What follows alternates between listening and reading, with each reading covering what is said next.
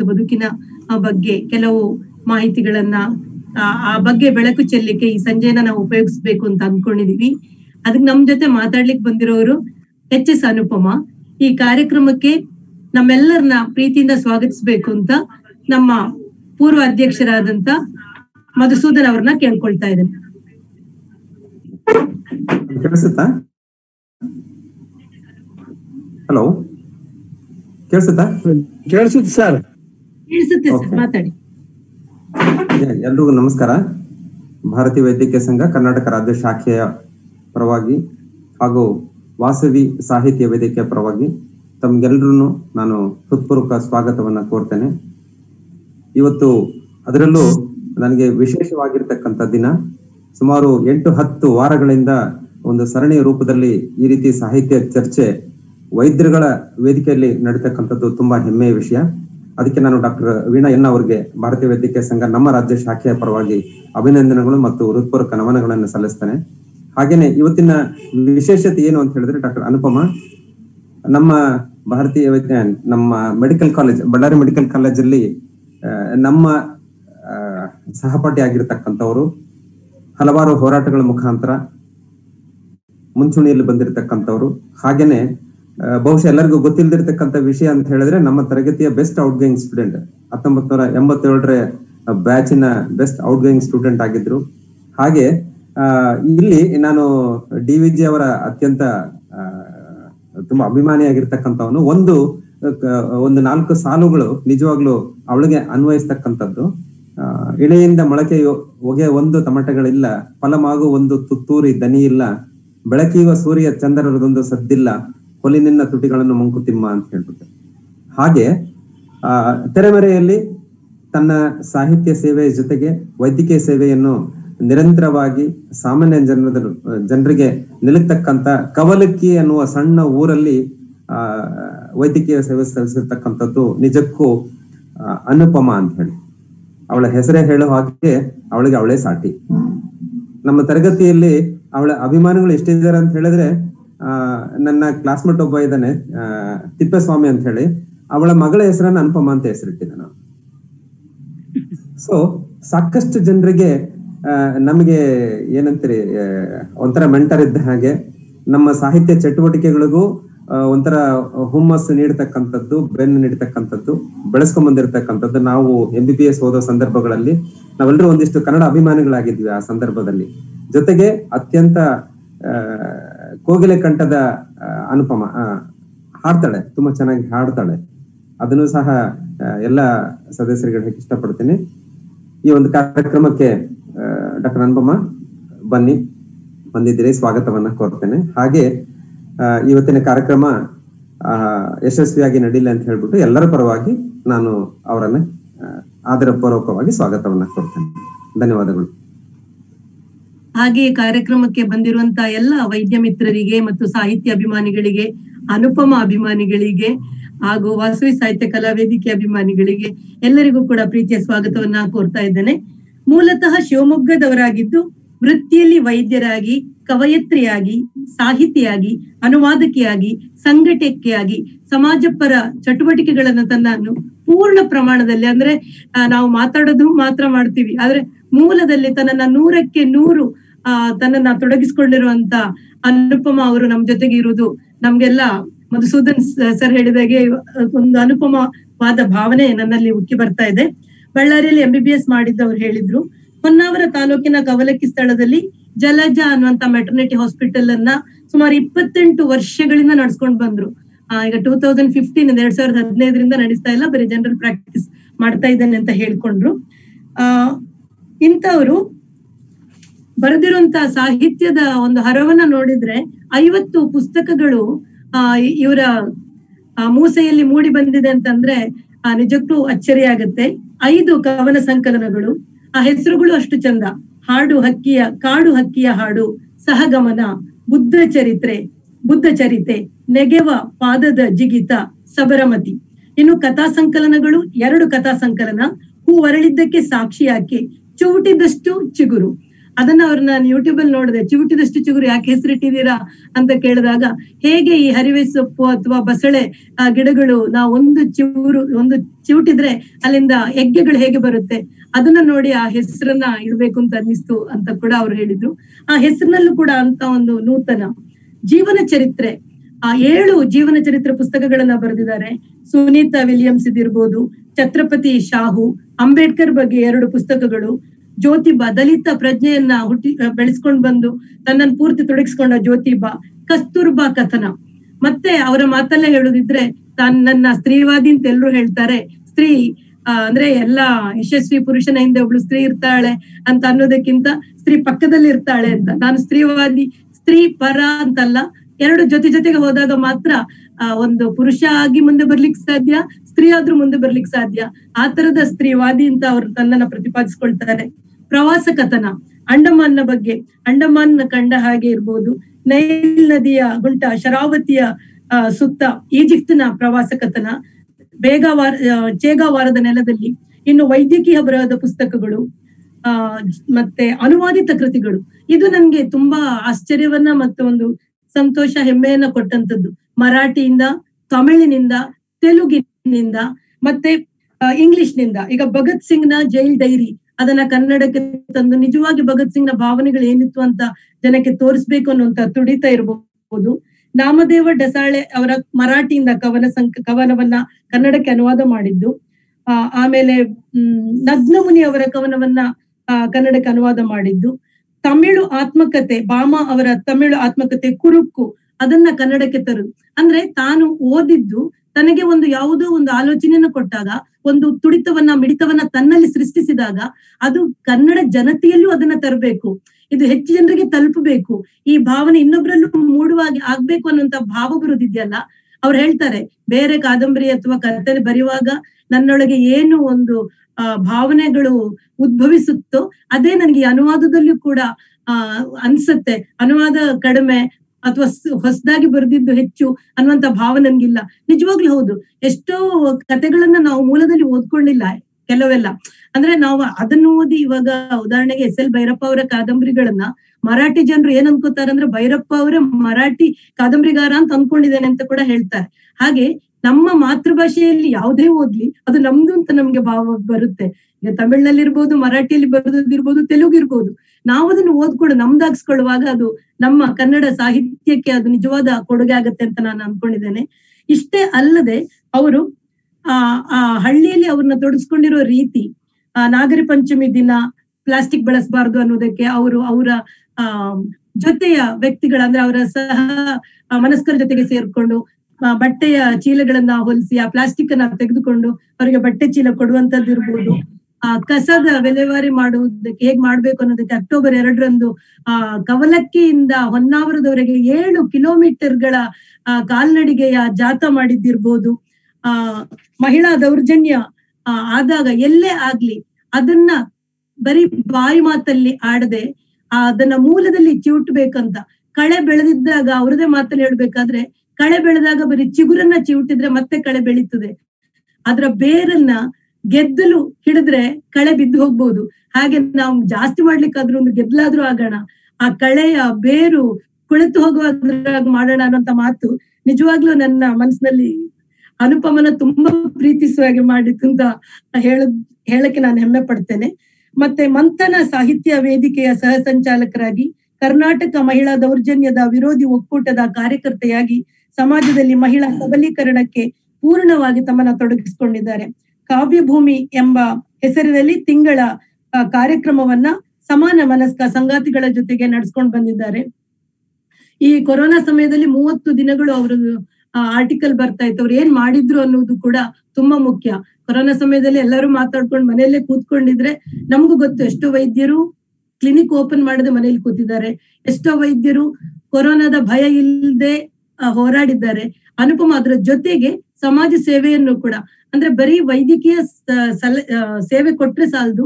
ಜನರಿಗೆ ಉಪಕಾರ ಆಗು, ಉಪಕಾರ ಅಂತಲ್ಲ, ಜನರಿಗೆ ಅನುಕೂಲ ಆಗುವ ಹಾಗೆ ಆಗ್ಬೇಕು ಅನ್ನೋದಕ್ಕೆ ಕೊಡುವಾಗ ಕೈ ನೋಡು, ತಗೊಳ್ಳುವಾಗ ಮುಖ ನೋಡು ಅನ್ನುವಂತ ತಂದೆ, ಅವರ ತಂದೆ ಆಡಿದ ಮಾತನ್ನ. ಅಂದ್ರೆ ನಾವು ದಾನ ಕೊಟ್ಟಾಗ ಕೊಡುವ ಕೈ ನೋಡು, ಯಾರಿಗೆ ಕೊಡ್ತೇನೆ ಅಂತ ನೋಡ್ಬೇಡ.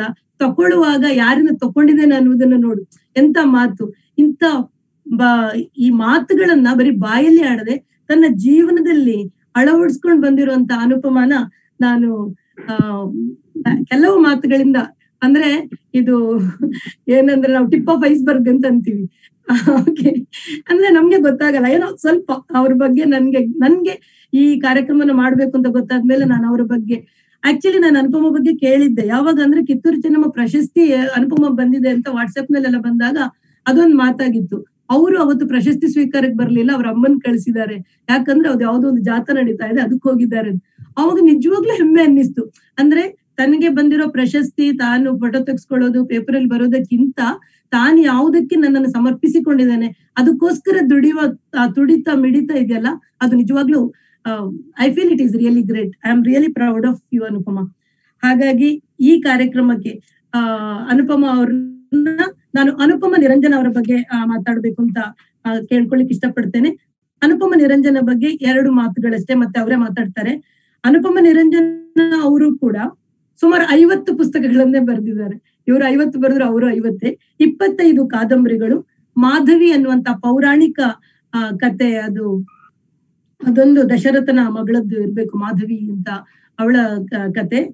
ಆಮೇಲೆ ಮತ್ತೆಲ್ಲ ಸಾಮಾಜಿಕ ಕಥೆಗಳು ಋಣಮುಕ್ತಳು ಚಲನಚಿತ್ರ ಕೂಡ ಆಗಿದೆ.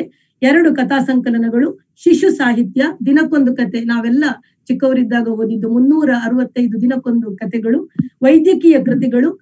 ಆ ದಾಂಪತ್ಯ ದೀಪಿಕೆ, ಕೇಳು ಕಿಶೋರಿ, ತಾಯಿ ಮಗು, ವಧುವಿಗೊಂದು ಕಿರು, ಕಿವಿ ಕಿವಿ ಮಾತು. ಎಲ್ಲ ಮದುವೆ ಆದಾಗ, ಆ, ಗಿಫ್ಟ್ ಜೊತೆಗೆ ಈ ಪುಸ್ತಕಗಳನ್ನ ಇಟ್ಟದ್ದು ಕೂಡ ನಾನು ನೋಡಿದ್ದೀನಿ ಹುಡುಗರ ಜೊತೆಗೆ.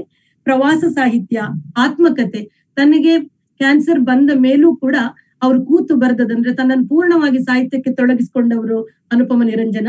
ನೆನಪು, ಸಿಹಿ ಕಹಿ, ಬರ, ಬರಹಗಾರ್ತಿಯರ ಬದುಕು, ನಾಟಕ, ಅನುವಾದ ಎಲ್ಲ ಕ್ಷೇತ್ರಗಳಲ್ಲಿ ಅನುಪಮ ನಿರಂಜನ ಕೂಡ ಕೈಯಾಡಿಸಿದ್ದಾರೆ ನಮ್ಮ ಅನುಪಮ ಕೂಡ ಕೈಯಾಡಿಸಿದ್ದಾರೆ ಈಗ ಎಚ್ ಎಸ್ ಅನುಪಮ ಅವರಿಂದ ಅನುಪಮ ನಿರಂಜನ ಅವರ ಬದುಕು ಮತ್ತು ಬರಹಗಳ ಬಗ್ಗೆ ನಮ್ಗೆ ಎಲ್ಲರಿಗೂ ಬೆಳಕು ಚೆಲ್ಲಬೇಕು ಅಂತ, ಆ ಐ ಎಂ ಎ ಬರಹಗಾರರ ವೇದಿಕೆಯ ಪರವಾಗಿ ಮತ್ತು ವಾಸವಿ ಸಾಹಿತ್ಯ ಕಲಾ ವೇದಿಕೆಯ ಪರವಾಗಿ ಪ್ರೀತಿಯಿಂದ ಕೇಳ್ಕೊಳ್ತಾ ಇದ್ದೇನೆ. ಅನ್ಮ್ಯೂಟ್ ಮಾಡ್ಕೊಳ್ಳಿ. ಅನ್ಮ್ಯೂಟ್ ಅನ್ಮ್ಯೂಟ್ ಅನ್ಮ್ಯೂಟ್ ಮಾಡ್ಕೊಳ್ಳಿ.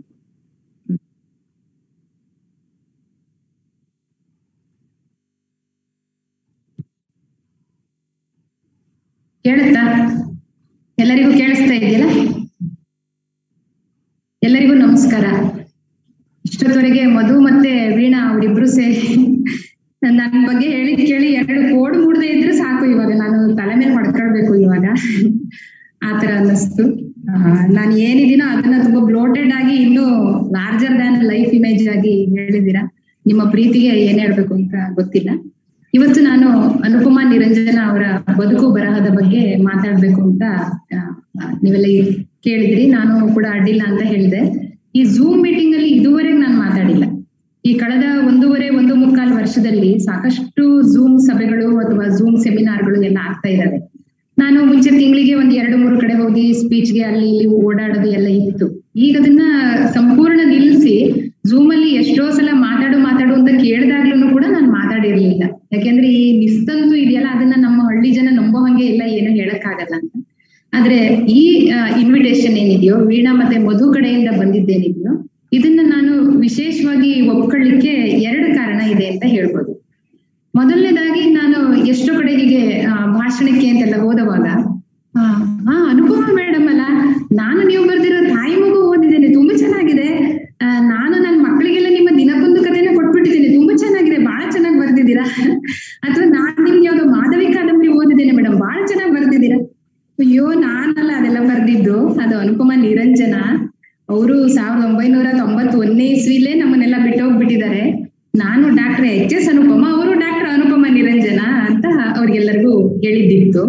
ಸೊ ಈ ಕಾರ್ಯಕ್ರಮದ ಮೂಲಕ ನಾನು ಅವರಲ್ಲ, ನಾನು ಅಂತ ಇನ್ನೊಂದ್ಸಲ ಕನ್ಫರ್ಮ್ ಮಾಡ್ಲಿಕ್ಕೆ ಅನುಪಮ ನಿರಂಜನ ಬಗ್ಗೆ, ಎಚ್ ಎಸ್ ಅನುಪಮ ಆಗಿ ನಾನು ಇವಾಗ ಮಾತಾಡ್ತಾ ಇದ್ದೀನಿ. ಮತ್ತೊಂದು ಎರಡನೇದು ಈ ಇದಕ್ಕೆ ಬರ್ಲಿಕ್ಕೆ ಒಂದು ಕಾರಣ ಅಂತಂದ್ರೆ ಐ ಎಂ ಸಾಹಿತ್ಯ ಬಳಗ ಅನ್ನೋ ಕಾನ್ಸೆಪ್ಟೇ ನಂಗೆ ತುಂಬಾ ಇಷ್ಟ ಆಯ್ತು. ಯಾಕೆಂದ್ರೆ ಮುಂದೆ ಅದ್ರ ಬಗ್ಗೆ ಮತ್ತೆ ಮಾತಾಡ್ತೀನಿ ನಾನು, ಅನುಪಮ ಅವರ ಬದುಕಿನ ಬಗ್ಗೆ ಹೇಳಿದ ನಂತರ. ಆ, ಡಾಕ್ಟರ್ಗಳಂದ್ರೆ ಸಾಹಿತಿಗಳಾಗಿರೋದೇ ತುಂಬಾ ಅಪರೂಪ ಏನೋ ಅನ್ನುವಂತ ಒಂದು ಇದು ಕೇಳುತ್ತೆ. ಪದೇ ಪದೇ ಅಂತ ಪ್ರಶ್ನೆಗಳು ನಮಗೆ ಬರ್ತಾ ಇರ್ತವೆ. ಅದರಲ್ಲಿ ಡಾಕ್ಟರ್ಗಳದ್ದು ಒಂದು ಸಾಹಿತ್ಯ ಬಳಗ ಅನ್ನೋದು ಏನಿದೆಯಲ್ಲ ತುಂಬಾ ಒಳ್ಳೆ ಕಾನ್ಸೆಪ್ಟ್ ನಮ್ಮ ಮಧು ಮತ್ತೆ ವೀಣಾ ತಿಮ್ಮರಾಜು ಸಾಕಷ್ಟು ಜನ ಇಲ್ಲಿ ಈ ಬಳಗದಲ್ಲಿ ನನ್ನ ಕಣ್ಣೆದುರುಗಡೆ ಕಾಣ್ತಾ ಇರೋರೆ ಸಾಕಷ್ಟು ಜನ ಎಲ್ಲರೂ ಇದ್ದಾರೆ ಎಲ್ಲರನ್ನು ನೋಡಿ ಆ, ಖುಷಿಯಾದಂಗೂ ಆಗುತ್ತೆ. ಮತ್ತೆ ನೋಡ್ದಂಗೂ ಆಯ್ತು. ಈ ಸಾಹಿತ್ಯದ ಇದ್ರಲ್ಲೂ ಮಾತಾಡ್ದಾಗೆ ಆಯ್ತು ಅಂತ ನಾನು ಇಲ್ಲಿ ಬಂದಿದ್ದೀನಿ. ಒಂದು ವಿಶೇಷವಾಗಿ ಗಂಗಾಧರ ಪತ್ತಾರ್ ಸರ್ ಕಾಣ್ತಾ ಇದ್ದಾರೆ ಬಳ್ಳಾರಿ ಮೆಡಿಕಲ್ ಕಾಲೇಜಿನ ಆಫೀಸಲ್ಲಿ ನಮ್ ಎಲ್ಲರಿಗೂ ಸಿಕ್ಕದಂತವರು ಅವರು ಇದ್ದಾರೆ ಎಲ್ಲರಿಗೂ ಮತ್ತೊಮ್ಮೆ ನಮಸ್ಕಾರ ಹೇಳ್ತಾ ನನ್ನ ಮಾತುಗಳನ್ನ ಶುರು ಮಾಡ್ಬೋದು ಅಂತ ನಾನು ಆ, ಮೊದಲನೇದಾಗಿ ಅನುಪಮ ನಿರಂಜನ ಅವರ ಬದುಕು ಮತ್ತು ಬರಹದ ಬಗ್ಗೆ ಕೆಲವು ಮಾತುಗಳನ್ನ ಹೇಳಕ್ಕೆ ಇಷ್ಟಪಡ್ತೀನಿ. ಇವಾಗ ಈ ಆನ್ಲೈನ್ ಕಾಲದಲ್ಲಿ ನಮಗೆ ಬೇಕಾಗಿರುವ ಸಾಕಷ್ಟು ಮಾಹಿತಿಗಳು ನಮ್ಮ ಕಣ್ಣೆದುರುಗಡೆ ಬಂದ್ಬಿಡುತ್ತೆ. ಅನುಪಮ ನಿರಂಜನ ಅವರು ಆಲ್ ಇಂಡಿಯಾ ರೇಡಿಯೋ ಮಾಡಿರುವಂತಹ ಒಂದೆರಡು ಸಂದರ್ಶನಗಳು ಮತ್ತೆ ಅವರ ಆತ್ಮಕಥೆಯನ್ನ ಓದಿರುವಂತಹ ಅದು ಕೂಡ ಅಗೇನ್ ಆಕಾಶವಾಣಿಗೋಸ್ಕರ ಮಾಡಿರೋದು. ಅದೆಲ್ಲವೂ ಕೂಡ ಆನ್ಲೈನ್ ಅಲ್ಲಿ ಲಭ್ಯ ಇದೆ. ಆ,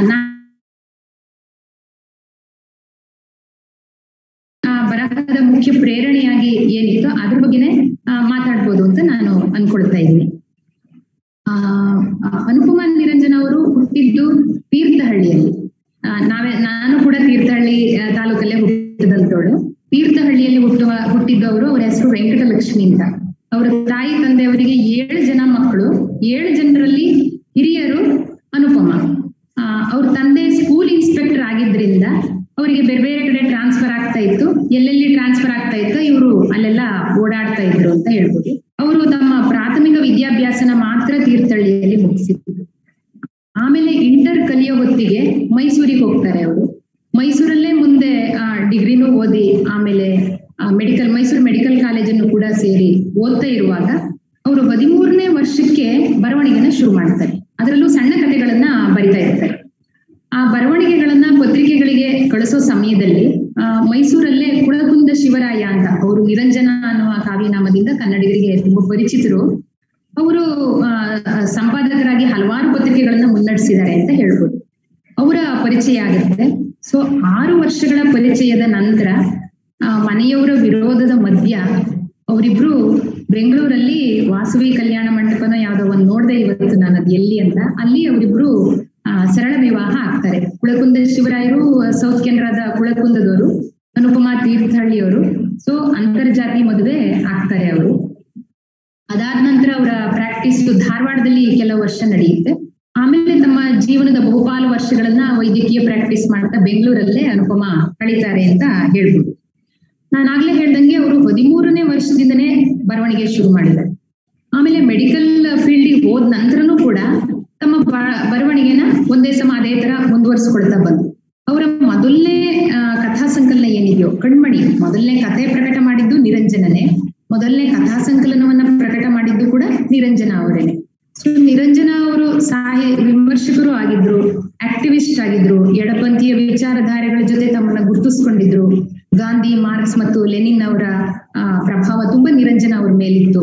ಹಾಗಾಗಿ ನಿರಂಜನ ಅವರ ಒಂದು ಡೈರೆಕ್ಷನ್ ಕೂಡ ಇತ್ತು, ಮತ್ತೆ ಬೆಂಬಲ ಕೂಡ ಇತ್ತು. ಇವರು ನಿರಂತರವಾಗಿ ಒಂದೇ ಸಮ ಬರದ್ರು ಅಂತ ಹೇಳ್ಬೋದು. ಆ, ಅವರು ಸಾವಿರದ ಒಂಬೈನೂರ, ಆ, ಎಂಬತ್ತೆರಡನೇ ಇಸ್ವಿ ಹೊತ್ತಿಗೆ ಅವ್ರದ್ದೊಂದು ಇಂಟರ್ವ್ಯೂ ನಲ್ಲಿ ಹೇಳೋ ಹೊತ್ತಿಗೆ ಅವ್ರಾಗ್ಲೇ ಆತ್ಮಚರಿತ್ರೆಯನ್ನ ಬರೆಯೋ ಇದಕ್ಕೆ ಬಂದಿರ್ತಾರೆ. ಅಂದ್ರೆ ಅಷ್ಟೊಂದು ಪುಸ್ತಕಗಳು ಪ್ರಕಟ ಆಗ್ಬಿಟ್ಟಿರ್ತಾರೆ. ಅವ್ರ ಮೆಡಿಕಲ್ ಪುಸ್ತಕಗಳೆಲ್ಲ ಹನ್ನೆರಡು, ಹದಿಮೂರು ಎಡಿಷನ್ ಗಳನ್ನ ಆಗ್ಲೇ ಕಂಡ್ಬಿಟ್ಟಿರ್ತಾರೆ. ಅಂದ್ರೆ ಜನಪ್ರಿಯ ಲೇಖಕಿಯಾಗಿ ಒಂದು ಐವತ್ತು ವರ್ಷ ಆಗದ್ರೊಳಗೆ ಅವರು ಕರ್ನಾಟಕದ ಮನೆ ಮಾತಾಗಿದ್ರು ಅಂತ ಹೇಳ್ಬೋದು. ಆ ಅವ್ರಿಗಿಬ್ರು ಮಕ್ಕಳು ತೇಜಸ್ವಿನಿ ಮತ್ತು ಸೀಮಂತಿನಿ ಅಂತ. ಸೀಮಂತಿನಿ ಈಗ ನಮ್ ಜೊತೆ ಇಲ್ಲ ಅವರು ಕಾಲವಾಗಿದ್ದಾರೆ. ತೇಜಸ್ವಿನಿ ಒಳ್ಳೆ ಭಾಷಾಂತರಕಾರ್ತಿಯಾಗಿ ಮತ್ತೆ ಇಂಗ್ಲಿಷ್ ಕವಿಯಾಗಿ ಮತ್ತೆ ಬರಹಗಾರ್ತಿಯಾಗಿ ವಿಮರ್ಶಕಿಯಾಗಿ ಗುರುತಿಸ್ಕೊಂಡಿದ್ದಾರೆ. ಒಂದಷ್ಟು ವರ್ಷ ಅಮೆರಿಕದಲ್ಲಿದ್ರು. ಆಮೇಲೆ ಹೈದರಾಬಾದ್ ಅಲ್ಲಿದ್ರು ಈಗ ಹಾಂಗ್ಕಾಂಗ್ನ ಯಾವ್ದೋ ಒಂದು ಇನ್ಸ್ಟಿಟ್ಯೂಟ್ ಅಲ್ಲಿ ತೇಜಸ್ವಿನಿ ಅವರು ಇದ್ದಾರೆ. ತೇಜಸ್ವಿನಿ ಅವರ ಇಂಟರ್ವ್ಯೂ ಅನ್ನು ಮೊನ್ನೆ ಏನೋ ಈ ಇದ್ರಕ್ಕೋಸ್ಕರ ನೋಡುವಾಗ ತಮ್ಮ ತಾಯಿ ತಂದೆ ಬಗ್ಗೆ ಹೇಳ್ಕೊಂಡಿ ಕೆಲವು ವಿಷಯಗಳು ಅದರಲ್ಲಿ ಗೊತ್ತಾಯ್ತು. ತೇಜಸ್ವಿನಿ ಏನ್ ಹೇಳ್ತಾರೆ ಅಂದ್ರೆ, ಅವ್ರ ಅಮ್ಮ ಮೆಡಿಕಲ್ ಓದಿದ್ರು ಕೂಡ ಅವರು ಸಂಪೂರ್ಣ ಕನ್ನಡದಲ್ಲೇ ಮಾತಾಡ್ತಾ ಇದ್ರು, ಕನ್ನಡದಲ್ಲೇ ಬರೀತಾ ಇದ್ರು. ಆದ್ರೆ ಅವ್ರ ತಂದೆ ಬರೀ ಇಂಟರ್ ಪಾಸ್ ಮಾಡಿ, ಮೆಟ್ರಿಕ್ಯುಲೇಷನ್ ಪಾಸ್ ಮಾಡಿದ್ರು ಕೂಡ ಅವ್ರು ಇಂಗ್ಲಿಷ್ ಜರ್ನಲಿಸ್ಟ್ ಆಗಿದ್ರು, ನಿರಂಜನ. ಮತ್ತೆ ಇಂಗ್ಲಿಷ್ನಿಂದ ಅನುವಾದಗಳನ್ನ ಮಾಡಿದ್ರು, ಮತ್ತೆ ಇಂಗ್ಲಿಷ್ ಅಲ್ಲಿ ಮಾತಾಡ್ತಾ ಇದ್ರು, ಮತ್ತೆ ಹಲವಾರು ಅಖಿಲ ಭಾರತ ಮಟ್ಟದ ಹಲವಾರು ಆಕ್ಟಿವಿಸ್ಟ್ ಆಕ್ಟಿವಿಸ್ಟ್ಗಳ ಜೊತೆಗೆ, ಬರಹಗಾರರ ಜೊತೆಗೆ ನಿರಂಜನ ಅವರಿಗೆ ಸಂಪರ್ಕ ಇತ್ತು. ಸೊ ಮನೆಯಲ್ಲಿದ್ದ ಆ ಒಂದು ಸಾಹಿತ್ಯಿಕ ವಾತಾವರಣ ಏನಿದೆಯೋ, ಅದು ನನ್ನ ಓದನ್ನ, ನನ್ನ ಬರಹವನ್ನ ಪ್ರಭಾವಿಸ್ತು ಅಂತ ತೇಜಸ್ವಿನಿ ಹೇಳ್ಕೊಂಡಿದ್ದಾರೆ ಇತ್ತೀಚೆಗೆ ತೇಜಸ್ವಿನಿ ಜಯಂತ್ ಕಾಯ್ಕಿಣಿ ಅವರ ಕಥಾ ಸಂಕಲನ ಇಂಗ್ಲಿಷ್ಗೆ ಅನುವಾದ ಮಾಡಿದ್ದಾರೆ. ವೈದೇಹಿ ಅವರ ಕಥೆಗಳನ್ನು ಕೂಡ ಕನ್ನಡದಿಂದ ಇಂಗ್ಲಿಷ್ಗೆ ತಗೊಂಡಿದ್ದಾರೆ. ಕನ್ನಡದಿಂದ ಇಂಗ್ಲಿಷ್ಗೆ ಅನುವಾದ ಮಾಡೋದ್ರಲ್ಲಿ ತೇಜಸ್ವಿನಿ ಒಂದು ದೊಡ್ಡ ಹೆಸರು ಅಂತ ಹೇಳ್ಬೋದು. ಅನುಪಮ ನಿರಂಜನ ಒಟ್ಟು ಇಪ್ಪತ್ನಾಲ್ಕು, ಇಪ್ಪತ್ತೈದು ಕಾದಂಬರಿಗಳನ್ನ ಬರೆದ್ರು. ಒಂಬತ್ತು ಕಥಾ ಸಂಕಲನಗಳನ್ನ ಬರೆದಿದ್ದಾರೆ. ಒಂದು ನಾಟಕ ಬರೆದಿದ್ದಾರೆ. ಶಿಶು ಸಾಹಿತ್ಯದ ಹನ್ನೆರಡು ಪುಸ್ತಕಗಳು. ಅವು ದಿನಕ್ಕೊಂದು ಕಥೆಗಳು ಅಂತ ಬಹುಪಾಲು ನಮ್ಮ ಎಲ್ಲರ ಮನೆಗಳಲ್ಲಿ ನಮ್ಮ ಮಕ್ಕಳಿಗೆ ನಾವು ಕೊಟ್ಟಿರ್ಬೋದು. ದಿನಕ್ಕೊಂದು ಕಥೆಗಳು ಅಂತ ಹನ್ನೆರಡು ಪುಸ್ತಕಗಳನ್ನ ಬರೆದಿದ್ದಾರೆ. ಎರಡು ಪ್ರವಾಸ ಕಥನಗಳನ್ನ ಎರಡು ಲೇಖನ ಸಂಗ್ರಹಗಳನ್ನ, ಮತ್ತೆ ಮಹಿಳೆಯರಿಗೆ ಸಂಬಂಧಪಟ್ಟ ಮಹಿಳಾ ಇಶ್ಯೂಗಳಿರುವಂತಹ ಏಳು ಪುಸ್ತಕಗಳನ್ನು ಬರೆದಿದ್ದಾರೆ. ಆರೋಗ್ಯಕ್ಕೆ ಸಂಬಂಧಪಟ್ಟ ಒಂಬತ್ತು ಪುಸ್ತಕಗಳು, ಮತ್ತೆ ಆತ್ಮಕಥಾನಕವಾಗಿ ಆಗಿರುವ ನಿರೂಪಣೆ ಇರುವಂತಹ ಎರಡು ಪುಸ್ತಕಗಳನ್ನ ಬರೆದಿದ್ದಾರೆ. ಅಂದ್ರೆ ಒಟ್ಟು ಅವರ ನಲವತ್ನಾಲ್ಕು ವರ್ಷದ ಒಂದು ಬರಹದ, ಬರಹಗಾರ್ತಿಯ ಸ್ಪ್ಯಾನ್ನಲ್ಲಿ ಅರವತ್ತಾರು ಪುಸ್ತಕಗಳನ್ನ ಬರೆದಿದ್ದಾರೆ ಅಂತ ಹೇಳ್ಬೋದು. ಅದರಲ್ಲಿ ಎಷ್ಟೋ ನಮ್ಮ ಹಿರಿಯ ಅಥವಾ ಹಳೆಯ ತಲೆಮಾರಿನ ಬರಹಗಾರರ ಎಲ್ಲಾ ಪುಸ್ತಕಗಳು ಸಿಗದೆ ಕಷ್ಟ. ಆದ್ರೆ ಅನುಪಮ ಅದಕ್ಕೊಂದು ಅಪವಾದ. ನೀವು ತಾಯಿ ಮಗು ಕೇಳು ಕಿಶೋರಿ ದಾಂಪತ್ಯ ದೀಪಿಕೆ ಅದೆಲ್ಲ ಇವತ್ತಿಗೂ ಬೇಕಾದ್ರೂ ಸಿಗುತ್ತೆ. ದಿನಕ್ಕೊಂದು ಕತೆ ಈ ಜಾತ್ರೆಯಲ್ಲೆಲ್ಲ ಬೇಕಾದ್ರೂ ಸಿಗುತ್ತೆ. ಎಲ್ಲ ಮಗಿ ಪುಸ್ತಕ ಸಿಗುವ ಅಂಗಡಿಗಳಲ್ಲೂ ಬೇಕಾದ್ರೆ ದಿನಕ್ಕೊಂದು ಕತೆ ಸಿಗುತ್ತೆ. ಅಂದ್ರೆ ಅವರು ಆತರ ಒಂದು ಜನಪ್ರಿಯತೆಯನ್ನು ಮತ್ತೆ ಮೌಲಿಕವಾದ ಸಾಹಿತ್ಯವನ್ನು ಎರಡರನ್ನೂ ಒಟ್ಟೊಟ್ಟಿಗೆ ಮಾಡ್ಕೊಳ್ತಾ ಹೋದ್ರಲ್ಲ, ಅದು ನಿಜವಾಗಿ ಜನಸಾಮಾನ್ಯರಿಗೂ ಕೂಡ ತುಂಬಾ ಪತ್ರ ಬರ್ಲಿಕ್ಕೆ ಕಾರಣ ಆಯ್ತು ಅಂತ ನಾನು ಭಾವಿಸ್ತೀನಿ. ಯಾವುದೋ ಒಂದು ಇಂಟರ್ವ್ಯೂ ನಲ್ಲಿ ಅವಾಗ ಬಹುಶಃ ಅವರಿಗೆ ಬ್ರೆಸ್ಟ್ ಕ್ಯಾನ್ಸರ್ ಡಯಾಗ್ನೋಸ್ ಆಗಿತ್ತು ಅಂತ ಕಾಣುತ್ತೆ. ನಿಮ್ಗೆ ಇನ್ನೂ ಅಂದ್ರೆ ಇಷ್ಟು ಪುಸ್ತಕಗಳನ್ನ ಬರ್ದಿದ್ದೀರಾ? ನಿಮಗೆ ಸಮಾಧಾನ ಇದೆಯಾ? ಇನ್ನೂ ಬರಿಬೇಕಾ ಅಂತಂದವಾಗ ಇನ್ನೂ ಹತ್ತಾರು ಪುಸ್ತಕಗಳು ನನ್ನ ತಲೆ ಒಳಗಿದೆ. ಆರೋಗ್ಯ ಏನಾದ್ರೂ ನನಗೆ ಅವಕಾಶ ಮಾಡ್ಕೊಟ್ರೆ ಇಫ್ ಹೆಲ್ತ್ ಪರ್ಮಿಟ್ಸ್ ನನ್ಗೆ ಇನ್ನೂ ಬರೆಯಕ್ಕೆ ತುಂಬಾ ಇದೆ ಅಂತಾನೆ ಹೇಳ್ಕೊಳ್ತಾರೆ ಅಂದ್ರೆ ತಮ್ಮ ಬದುಕಿನ ಕೊನೆ ಗಳಿಗೆವರೆಗೂ ಕೂಡ ಸಾವಿನ ಎದುರು ಇದ್ದಾಗ್ಲೂ ಕೂಡ ಅವರಿಗೆ ಬ್ರೆಸ್ಟ್ ಕ್ಯಾನ್ಸರ್ಗೆ ಮೂರ್ ಸಲ ಸರ್ಜರಿ ಆಗುತ್ತೆ. ಆ, ಮತ್ತೆ ಸಾಕಷ್ಟು ನೋವನ್ನ ಅನುಭವಿಸಿದ್ದಾರೆ. ಅದನ್ನ ತಮ್ಮ ಆತ್ಮಕತೆ ನೆನಪು ಸಿಹಿ ಕಹಿಯಲ್ಲಿ ಓದಿರೋದ್ರಲ್ಲೂ ಮತ್ತೆ ಕೆಲವೊಂದ್ ಕಡೆ ದಾಖಲಿಸಿರೋದ್ರಲ್ಲೂ ಹೇಳ್ಕೊಂಡಿದ್ದಾರೆ ಅವರು. ಏನಾಯ್ತು? ನಿರಂಜನ ಅವರಿಗೆ ಎಪ್ಪತ್ತೊಂದನೇ ಇಸ್ವಿಲೇ ಪ್ಯಾರಾಲಿಸಿಸ್ ಆಗೋಯ್ತು. ಸೊ ಅದು ಒಂದು ದೊಡ್ಡ ಹೊಡೆತ ನಂಗೆ ಅಂತ ಹೇಳ್ಕೊಂಡಿದ್ದಾರೆ. ಹಾಗಾಗಿ ಇವರು ಮೆಡಿಕಲ್ ಪ್ರಾಕ್ಟೀಸ್ ಒಂದ್ ಕಡೆ ಎರಡು ಸಣ್ಣ ಮಕ್ಕಳು ಆ ಓದಿನ ಜವಾಬ್ದಾರಿ ಒಂದ್ ಕಡೆ, ತಮ್ಮ ಬರಹದ ಮತ್ತೆ ಆಕ್ಟಿವಿಸ್ಟ್ ಬದುಕು ಒಂದ್ ಕಡೆ, ಮತ್ತೆ ನಿರಂಜನ ಅವರ ಬರವಣಿಗೆ ಮತ್ತು ಅವರ ಹೆಲ್ತ್ ಅನ್ನ ಇನ್ನೊಂದ್ ಕಡೆ ಮೇಂಟೈನ್ ಮಾಡ್ಬೇಕು. ಎಲ್ಲ ನನಗೆ ಒಂದೇ ಸಲ ಒಂದು ಸುಂದರವಾದ, ನಿರಾಳವಾದ ಬದುಕನ್ನ ನಾನು ಬದುಕ್ತಾ ಇದ್ದೆ. ಎಲ್ಲ ಒಂದೇ ಸಲ ಭಾರ ಆದಂಗ ಆಗೋಯ್ತು. ತುಂಬಾ ಕಷ್ಟಪಟ್ವಿ ಅವಾಗ. ಆದ್ರೆ ಅಂಥದ್ರ ಮಧ್ಯೆ ಕೆಲವು ಸಿಹಿನೂ ಬರ್ತಾ ಇತ್ತು, ಕಷ್ಟನೂ ಬರ್ತಾ ಇತ್ತು. ಅಂದ್ರೆ ನೆನಪು ಸಿಹಿ ಕಹಿ ಅನ್ನೋ ಆತ್ಮಕಥೆಯಲ್ಲಿ ತುಂಬಾ ಮನೋ ಮನೋಜ್ಞವಾಗಿ, ಹೃದಯಂಗಮವಾಗಿ ಅದನ್ನೆಲ್ಲ ಅವರು ವಿವರಿಸ್ಕೊಂಡಿದ್ದಾರೆ ಅಂತ ಹೇಳ್ಬೋದು. ಆ ಕಷ್ಟದ ಮಧ್ಯೆನೂ ಕೂಡ ಮಗಳು, ಆ, ತೇಜಸ್ವಿನಿ ಇಂಗ್ಲಿಷ್ ಅಲ್ಲಿ ಪದ್ಯ ಬರೆದು ತೋರಿಸಿದವಾಗ ತುಂಬಾ ಖುಷಿ ಆಯ್ತಂತೆ. ನಿರಂಜನ ಕೂಡ ಪ್ಯಾರಲೈಸ್ಡ್ ಆಗಿ ಮಲಗಿದ್ದ ಕಾಲದಲ್ಲೂ ತೇಜಸ್ವಿನಿ ಇಂಗ್ಲಿಷ್ ಕವಿತೆಗಳನ್ನ ಓದಿ ಇಷ್ಟಪಟ್ಟು ಅದು ಕವಿತೆನೇ ಆಗಿದೆಯೋ ಇಲ್ಲೋ ಅಂತ ಅವಳು ಅನುಮಾನ ಪಟ್ಟಾಗ ಕಲ್ಕತ್ತಾದ ಯಾರೋ ರೈಟರಿಗೆ ತೋರಿಸಿ ಅದು ಚೆನ್ನಾಗಿದೆ ಅಂತ ಆದ್ಮೇಲೆ ಹದಿನೆಂಟನೇ ವರ್ಷ ಇದ್ದವಾಗ ಅವರ ಮೊದಲ ಕವನ ಸಂಕಲನೂ ಪ್ರಕಟ ಆಯ್ತು ಅಂತ ಹೇಳ್ಬೋದು. ಅದೊಂದು ನನಗೆ ತುಂಬಾ ಖುಷಿ ವಿಷಯ ಅಂತ ಅನುಪಮ ಹೇಳ್ಕೊಂಡಿದ್ದಾರೆ. ಹೀಗೆ ಅವರದ್ದು ಮತ್ತೆ ನಿರಂಜನ ಅವರ ಹೆಲ್ತ್ ಇಶ್ಯೂಗಳ ಮಧ್ಯ, ತಮ್ಮ ಮೆಡಿಕಲ್ ಪ್ರಾಕ್ಟೀಸ್ ಮಧ್ಯ ಬರೆಯೋ ಒಂದು ನಿರಂತರ ತುಡಿತ ಏನಿದೆಯೋ ಅದು ಅವರಲ್ಲಿ ಇದ್ದೇ ಇತ್ತು. ಹಾಗಾಗಿ ಸಾಕಷ್ಟು ಪುಸ್ತಕಗಳನ್ನ ಒಂದಾದ್ಮೇಲೆ ಒಂದು ಕೊಡ್ತಾ ಹೋದ್ರು, ಒಂದಾದ್ಮೇಲೆ ಒಂದು ಬರಿತಾ ಹೋದ್ರು ಅಂತ ಅನ್ಬೋದು. ಮತ್ತೆ ತಮ್ಮ ಇಂಟರ್ವ್ಯೂ ನಲ್ಲಿ ಒಂದ್ ಕಡೆ ಹೇಳಿದ್ದಾರೆ. ನಿರಂಜನನ್ನೇ ಒಂದ್ಸಲ ಹೇಳಿದ್ರಂತೆ, ಇಷ್ಟೊಂದು ಪುಸ್ತಕ ನೀನು ದಾಂಪತ್ಯ ದೀಪಿಕೆ, ತಾಯಿ ಮಗು ಕೇಳು, ಕಿಶೋರಿ, ಕಥಾ, ಸಂಕಲನ, ಕಾದಂಬರಿ ಇದನ್ನೇ ಬರ್ದೆ, ಅದ್ರ ಬಹುಕಾಲ ನೆನಪಿನಲ್ಲಿ ಉಳಿಯುವಂತ ಅಂದ್ರೆ ಕಾಲದ ಪರೀಕ್ಷೆಯನ್ನ ಗೆಲ್ಲುವಂತಹ ಒಂದು ಮೌಲಿಕ ಕೃತಿ ಬರೆಯೋ ಕಡೆ ಯೋಚನೆ ಮಾಡು ಅಂತ ಹೇಳಿದ್ರು. ಅವಾಗ ಅನುಪಮಂಗ್ ಒಂದ್ಸಲ, ಈ ನಿರಂಜನಂಗ್ ಏನಾರು ನನ್ ಬಗ್ಗೆ ಅಸೂಯಾಗಿ ಹಿಂಗ್ ಹೇಳ್ತಿದ್ದಾರ ಅಂತ ಅನುಮಾನ ಆಯ್ತು. ಯಾಕೆಂದ್ರೆ ಇವ್ರ ಒಂದಾದ್ಮೇಲೆ ಒಂದ್ ಪುಸ್ತಕ ಬರ್ತಿದ್ಯಲ್ಲ, ಏನ್ ನನ್ ಗಂಡನ್ ನನ್ ಮೇಲೆ ಏನಾರು ಅಸೂಯಾಗಿ ಹಿಂಗ್ ಹೇಳ್ತಿದಾರ ನಾನು ಇದುವರೆಗೆ ಬರ್ದಿದ್ ಮೌಲಿಕನೇ ಅಲ್ವಾ ಹಂಗಾದ್ರೆ? ಅಂತ. ಆದ್ರೆ ಯೋಚನೆ ಮಾಡಿದ್ರಂತೆ. ಹೌದು ಅವ್ರು ಹೇಳಿದ್ದು. ನಾನು ತಿಂಗಳಿಗೆ ಒಂದೊಂದು ಕಥಾ ಸಂಕಲನ ಬರ್ದಂಗ್ ಬರೆದ್ ಬಿಡ್ತಾ ಇದ್ದೀನಿ. ಅದು ಬರ್ತಾ ಬರ್ತಾ ಒಂದೇ ತರ ಆಗ್ತಾ ಹೋಗುತ್ತೆ. ಇಲ್ಲ, ನಾನು ಏನಾದ್ರೂ ಒಂದು ವಿಭಿನ್ನವಾಗಿದ್ದನ್ನ ಬರೀಬೇಕು ಅಂತ ಯೋಚನೆ ಮಾಡಿ ಅವಾಗ ಮಾಧವಿ ಬರುತ್ತಂತೆ ಮಾಧವಿ ಅನ್ನೋದು ಇವತ್ತಿಗೂ ಕೂಡ ನೀವು ಸ್ತ್ರೀವಾದಿ ಅಂತ ಕರ್ಕೊಳ್ತಿರೋ, ಪ್ರಗತಿಪರ ಅಂತ ಅನ್ಕೊಳ್ತಿರೋ, ಯಾವ ನೀವು ಹೆಡ್ಡಿಂಗ್ ಅನ್ನ ಇಟ್ಕೊಂಡು ಓದಿದ್ರು ಕೂಡ ಓದಿದವರ ಕಣ್ಣಲ್ಲಿ ಒಂದು ಹನಿ ನೀರನ್ನ ತರ್ಸಕ್ಕೆ, ಆ, ಸಾಧ್ಯ ಮಾಡುವಂತಹ ಒಂದು ಕಾದಂಬರಿ ಮಾಧವಿ. ಯಯಾತಿಯ ಮಗಳು ಮಾಧವಿ, ಗಾಲವ ಅನ್ನೋನು. ನನಗೆ ಇಂತಿಷ್ಟು ಕುದುರೆಗಳ ಇದು ಬೇಕು ಅಂತ ಕೇಳಿದವಾಗ ಯಯಾತಿ ತೆಗೆದು ಕೊಟ್ಬಿಡ್ತಾನೆ ಮಾಧವಿನ ಅದು ತುಂಬಾ, ನೀವು ಓದಿದ್ರೆ ಹೃದಯ ವಿದ್ರಾವಕವಾಗಿದೆ ಅವಳ ಕತೆ. ಅದನ್ನ ಆ ಕಾದಂಬರಿನ ಒಂದ್ಸಲ ಎಲ್ಲರೂ ಓದ್ಬೇಕು ಅಂತ ಅನ್ಸುತ್ತೆ. ಸೊ ಹೀಗೆ ಹೇಳಿದವಾಗ ಮಾಧವಿ ಬರೆದ್ರಂತೆ ಆಮೇಲೆ ಅವ್ರ ಮಕ್ಕಳು ಮನೆಯಲ್ಲಿ ಪ್ರತಿ ದಿವಸ ಕತೆ ಹೇಳು ಕತೆ ಹೇಳು ಅಂತ ಪೀಡಿಸ್ತಾ ಇದ್ರು. ಎಲ್ಲಿಂದ ಅಷ್ಟು ಕತೆ ತರದು? ಅವ್ರ ಅಜ್ಜಿ ಹೇಳಿರೋ ಕತೆ ಆಯ್ತು, ಅವ್ರ ಅಮ್ಮ, ಅಪ್ಪ ಹೇಳಿರೋ ಕತೆ ಆಯ್ತು, ರಾಮಾಯಣ, ಮಹಾಭಾರತದ ಕತೆಗಳು ಅದು ಜಾನಪದ ಕಥೆಗಳು ಅದು ಮಕ್ಕಳ ಕಥೆಯ ಹಸಿವು ತಣಿತನೇ ಇಲ್ಲ. ದಿನಾ ಮಲಗುವಾಗ ಕತೆ ಹೇಳು ಕತೆ ಹೇಳು. ಕೊನೆಗೆ ಈಸೋಪನ ಕಥೆಗಳಾಯ್ತು. ಇನ್ಯಾವುದೋ ಗ್ರೀಕ್ ಪುರಾಣದಿಂದ ಬೇರೆ ಬೇರೆ ಕಥೆಗಳನ್ನೆಲ್ಲ ಹೆಕ್ಕಿ ಹೆಕ್ಕಿ ಹೇಳ್ತಾ ಇರುವಾಗ ಒಂದ್ ದಿವಸ ನಿರಂಜನ ಹೇಳಿದ್ರಂತೆ. ಕತೆ ಅಂತೂ ಬರ್ದ್ ಬರ್ದ್ ಹಾಕ್ತೀಯಾ? ಮುನ್ನೂರ ಅರವತ್ತೈದೇ ಬರ್ದ್ ಬಿಡು. ಅವಾಗ ದಿವ್ಸಕ್ಕೆ ಒಂದೊಂದು ಕತೆ ಆಗ್ಬಿಡುತ್ತೆ. ಬರೀ ನಿನ್ ಮಕ್ಳಿಗೆ ಅಷ್ಟೇ ಅಲ್ಲ, ಎಲ್ಲ ಮಕ್ಕಳು ಓದಕ್ಕಾಗತ್ತೆ ಅಂತ ಹೇಳಿದ್ರು. ಅವಾಗ ಇವರಿಗೆ, ಓಹೋ, ಅದು ಸರಿ ಅಂತ ಅನ್ಸಿ ಈಗ್ಲೂ ಕೂಡ ಚೈತ್ರ ವೈಶಾಖ ಅಂತ ಪ್ರತಿ ಮಾಸಕ್ಕೆ ಒಂದೊಂದು ಸಂಪುಟ ಇದೆ. ಹನ್ನೆರಡು ಸಂಪುಟಗಳಲ್ಲಿ ದಿನಕ್ಕೊಂದು ಕಥೆ ಅನ್ನೋದು ಹೊರಗೆ ಬಂತು. ಆ, ಮತ್ತೊಂದು ತಮ್ಮ ಬರಹ ಕಾರಣವನ್ನ ಅವರು ಹೇಳ್ಕೊಳ್ತಾ ಸಾವಿರದ ಒಂಬೈನೂರ ಎಂಬತ್ತೆರಡರಲ್ಲಿ ಆ ಎರಡನೇ ಸಲ ಅವರಿಗೆ ಬ್ರೆಸ್ಟ್ ಕ್ಯಾನ್ಸರ್ಗೆ ಸರ್ಜರಿ ಆಯ್ತು. ಅವಾಗ ತುಂಬಾ ನೋವು ಅನುಭವಿಸಿದ್ರಂತೆ ಸಾಕಷ್ಟು ಹಿಂಸೆ ನಾ ಇನ್ನು ಬದುಕಿನ ಇಲ್ವೋ ಅಂತ ಅನ್ಸಿತ್ತಂತೆ ಅವಾಗ ತಮ್ಮ ಇಡೀ ಜೀವನನ ಇನ್ನೊಂದ್ಸಲ ವಾಪಸ್ ಹಿಂತಿರುಗಿ ನೋಡಿದವಾಗ ನನ್ನ ಇಡೀ ಬದುಕಲ್ಲಿ ಸಿಹಿಯೂ ಇದೆ ಕಹಿಯೂ ಇದೆ ಕಷ್ಟನೂ ಇದೆ ನೋವು, ನಲಿವುಗಳು ಇದಾವೆ ಇದು ಎಲ್ಲದನ್ನು ದಾಖಲಿಸಿದ್ರೆ ಮುಂದೆ ಯಾರೋ ಒಬ್ರು ಈ ತರ ಬದುಕು, ಈ ಬದುಕನ್ನ ನೋಡಿ ಏನಾದ್ರೂ ಯಾರಿಗಾದ್ರೂ ಪ್ರೇರಣೆ ಆಗ್ಬೋದೇನೋ ಅಂತ ಅನ್ಸಿ ಅದಿಷ್ಟನ್ನು ದಾಖಲಿಸ್ಬೇಕು ಅಂತ ಅನ್ನಿಸ್ತು. ಹಾಗಾಗಿ ನೆನಪು ಸಿಹಿ ಕಹಿನ ಬರ್ದೆ ಅಂತ ಸಾವಿರದ ಒಂಬೈನೂರ ಎಂಬತ್ತೆರಡನೇ ಇಸ್ವಿಯ ಒಂದು ಆಲ್ ಇಂಡಿಯಾ ರೇಡಿಯೋ ಇಂಟರ್ವ್ಯೂ ನಲ್ಲಿ ಅವರು ಹೇಳ್ಕೊಂಡಿದ್ದಾರೆ.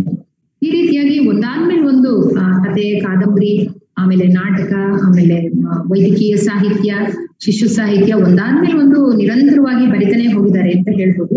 ಮತ್ತೆ ಅವರು ಮತ್ತೊಂದು ನಿಮಗೆ ತುಂಬಾ ತೃಪ್ತಿ ಕೊಟ್ಟಿರೋ ಇದು ಅಂತ ಕೇಳಿದವಾಗ ಆಳ ಅನ್ನೋ ಒಂದು ಕಾದಂಬರಿ ಬಗ್ಗೆ ಹೇಳ್ಕೊಂಡಿದ್ದಾರೆ ಅಂದ್ರೆ ಒಂದು ಮನೆ, ಗಂಡ ಹೆಂಡತಿ ಇಬ್ರು ಆರ್ಕಿಯಾಲಜಿಸ್ಟ್ ಅಂದ್ರೆ ಇಬ್ರು ತುಂಬಾ ತಿಳಿದಿರೋರು, ಪಂಡಿತರು ಓದಿರುವಂತವ್ರು ಅಂತವರ ಮಧ್ಯನೂ ಬರ್ಬೋದಾದಂತಹ ಡಿಫ್ರೆನ್ಸಸ್ ಮತ್ತೆ ಒಬ್ಬ ಹೆಣ್ಣಾಗಿ ಅವಳು ಎದುರಿಸಿರುವಂತಹ ಕಷ್ಟಗಳನ್ನ ಬರಿಬೇಕು ಅಂತ ಅನ್ಸಿ ಆಳ ಅನ್ನುವ ಕಾದಂಬರಿಯನ್ನ ಬರದೆ ನಾನು ಅಂತ ಹೇಳ್ಕೊಂಡಿದ್ದೆ. ಸೊ ಇವೆಲ್ಲ ಅನುಪಮ ನಿರಂಜನ ಅವರ ಸಾಹಿತ್ಯ ಕಾರಣಗಳು ಅಂದ್ರೆ ಅವ್ರಿಗೆ ಏನೇನು ಸ್ಫೂರ್ತಿಯಾಗಿ ಯಾವ್ದನ್ನ ಯಾವಾಗ ಬರೆದ್ರು ಅಂತ ನಾವು ಇದ್ ಮಾಡ್ಕೊಳ್ಬೋದು ಅವ್ರಿಗೆ ಕ್ಯಾನ್ಸರ್ ಬಂದವಾಗ ಅದ್ರ ಜೊತೆ ಅದರ ಟ್ರೀಟ್ಮೆಂಟ್ ತಗೊಳ್ತಾನೆ ಅದರ ತಮ್ಮ ಅನುಭವಗಳನ್ನ ದಾಖಲಿಸ್ತಾನೆ. ಕ್ಯಾನ್ಸರ್ ಜಗತ್ತು ಅನ್ನುವ ಒಂದು ಪುಸ್ತಕ ಕೂಡ ಬರೆದಿದ್ದಾರೆ. ಅವಾಗ ಸುಧಾ ವಾರಪತ್ರಿಕೆಯಲ್ಲಿ ಸಾವು ಒಳಬರಬಹುದೇ ಅಂತ ಕೇಳಿತು, ತಡಿ ಅಂತ ಹೇಳಿದೆ ಅಂತ ಒಂದು ಲೇಖನ ಬರೆದಿದ್ರು.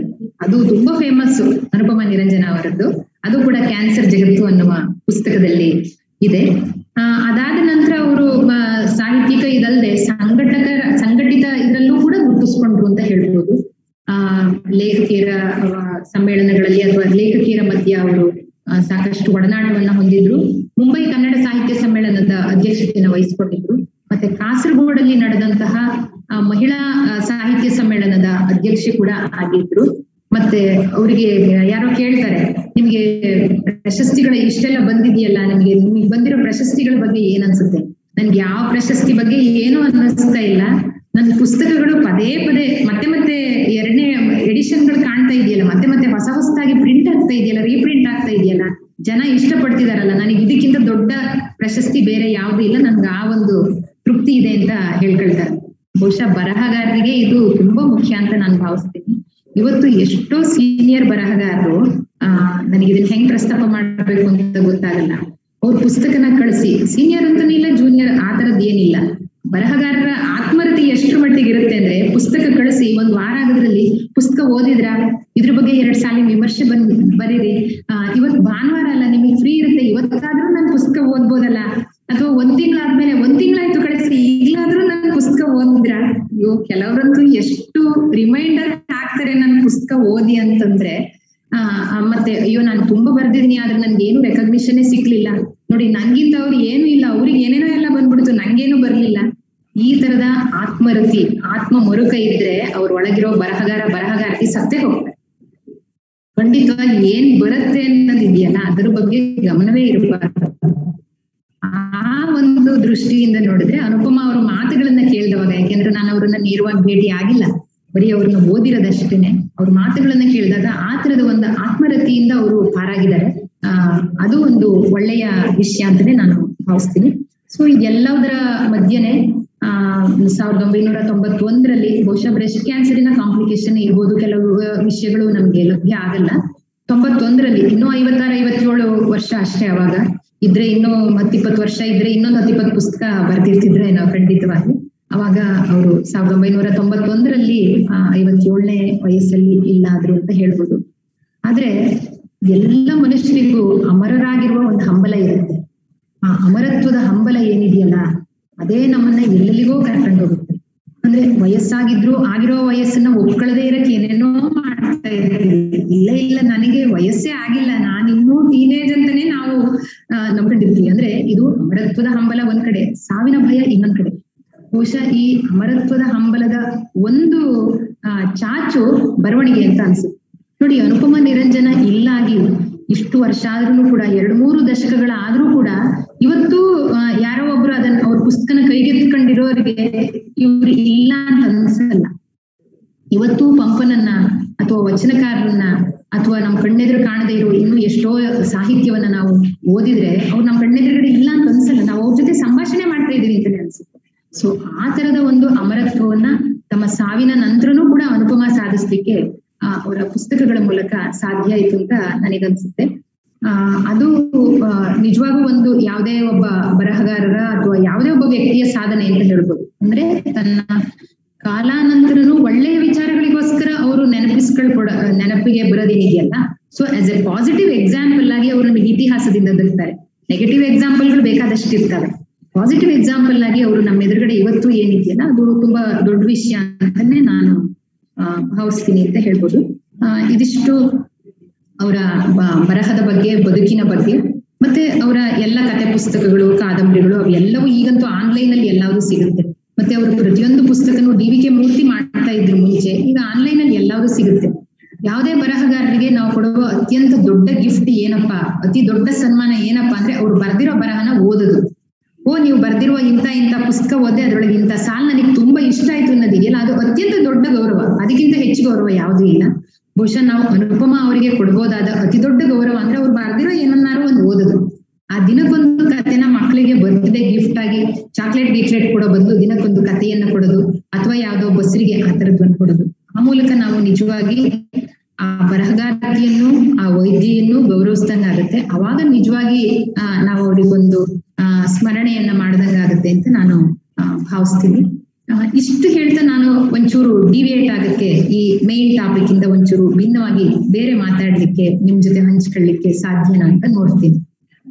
ಅನುಪಮ ಅವರ ಇಂಟರ್ವ್ಯೂ ನಲ್ಲಿ ಹೇಳ್ತಾರೆ, ತುಂಬಾ ಜನ ಅವ್ರನ್ನ, ಅಲ್ಲ ನೀವು ಡಾಕ್ಟರ್ ಆಗಿನೂ ಬರೀತೀರಾ ಅಂತ ಕೇಳ್ತಿದ್ರಂತೆ. ಅಲ್ಲ ನೀವು ಡಾಕ್ಟ್ರು ಆದ್ರೂ ಬರೀತೀರಾ? ಇಷ್ಟೊಂದು ಬರವಣಿಗೆ ಮಾಡಿದಿರಲ್ಲ ಅಂತ ಕೇಳ್ತಿದ್ರಂತೆ.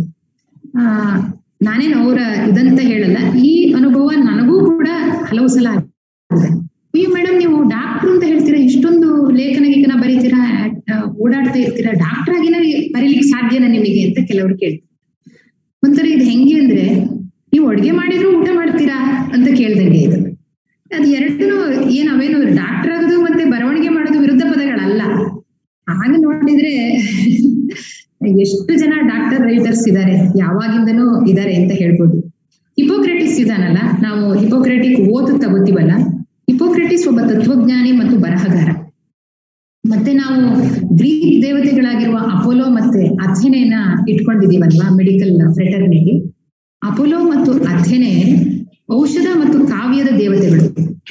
ಅಂದ್ರೆ ಅದರ ಅರ್ಥ ಕಾವ್ಯ ಮತ್ತೆ ಔಷಧ ಎರಡೂ ಒಂದೇ ಅಂತ ಅವರು ಯೋಚಿಸಿದ್ರು ಅಂತ ನಾವು ತಿಳ್ಕೋಬಹುದು ಮತ್ತೆ ನಮ್ಮ ಭಾರತದ ಚರಕ ಸುಶ್ರುತರೇನಿದಾರಲ್ಲ ನಮ್ಮ ಹಳೆಯ ಫಿಸಿಷಿಯನ್ಸ್ ಸರ್ಜನ್ಸ್ ಅವರು, ಚರಕ ಸುಶ್ರುತರು ಕೂಡ ಉತ್ತಮ ಬರಹಗಾರರು ಒಳ್ಳೆ ಬರಹಗಾರರಾಗಿದ್ರು ಅಂತ ಹೇಳ್ಬೋದು. ಆ ಇದೆಲ್ಲ ಈ ಹಳೆಯ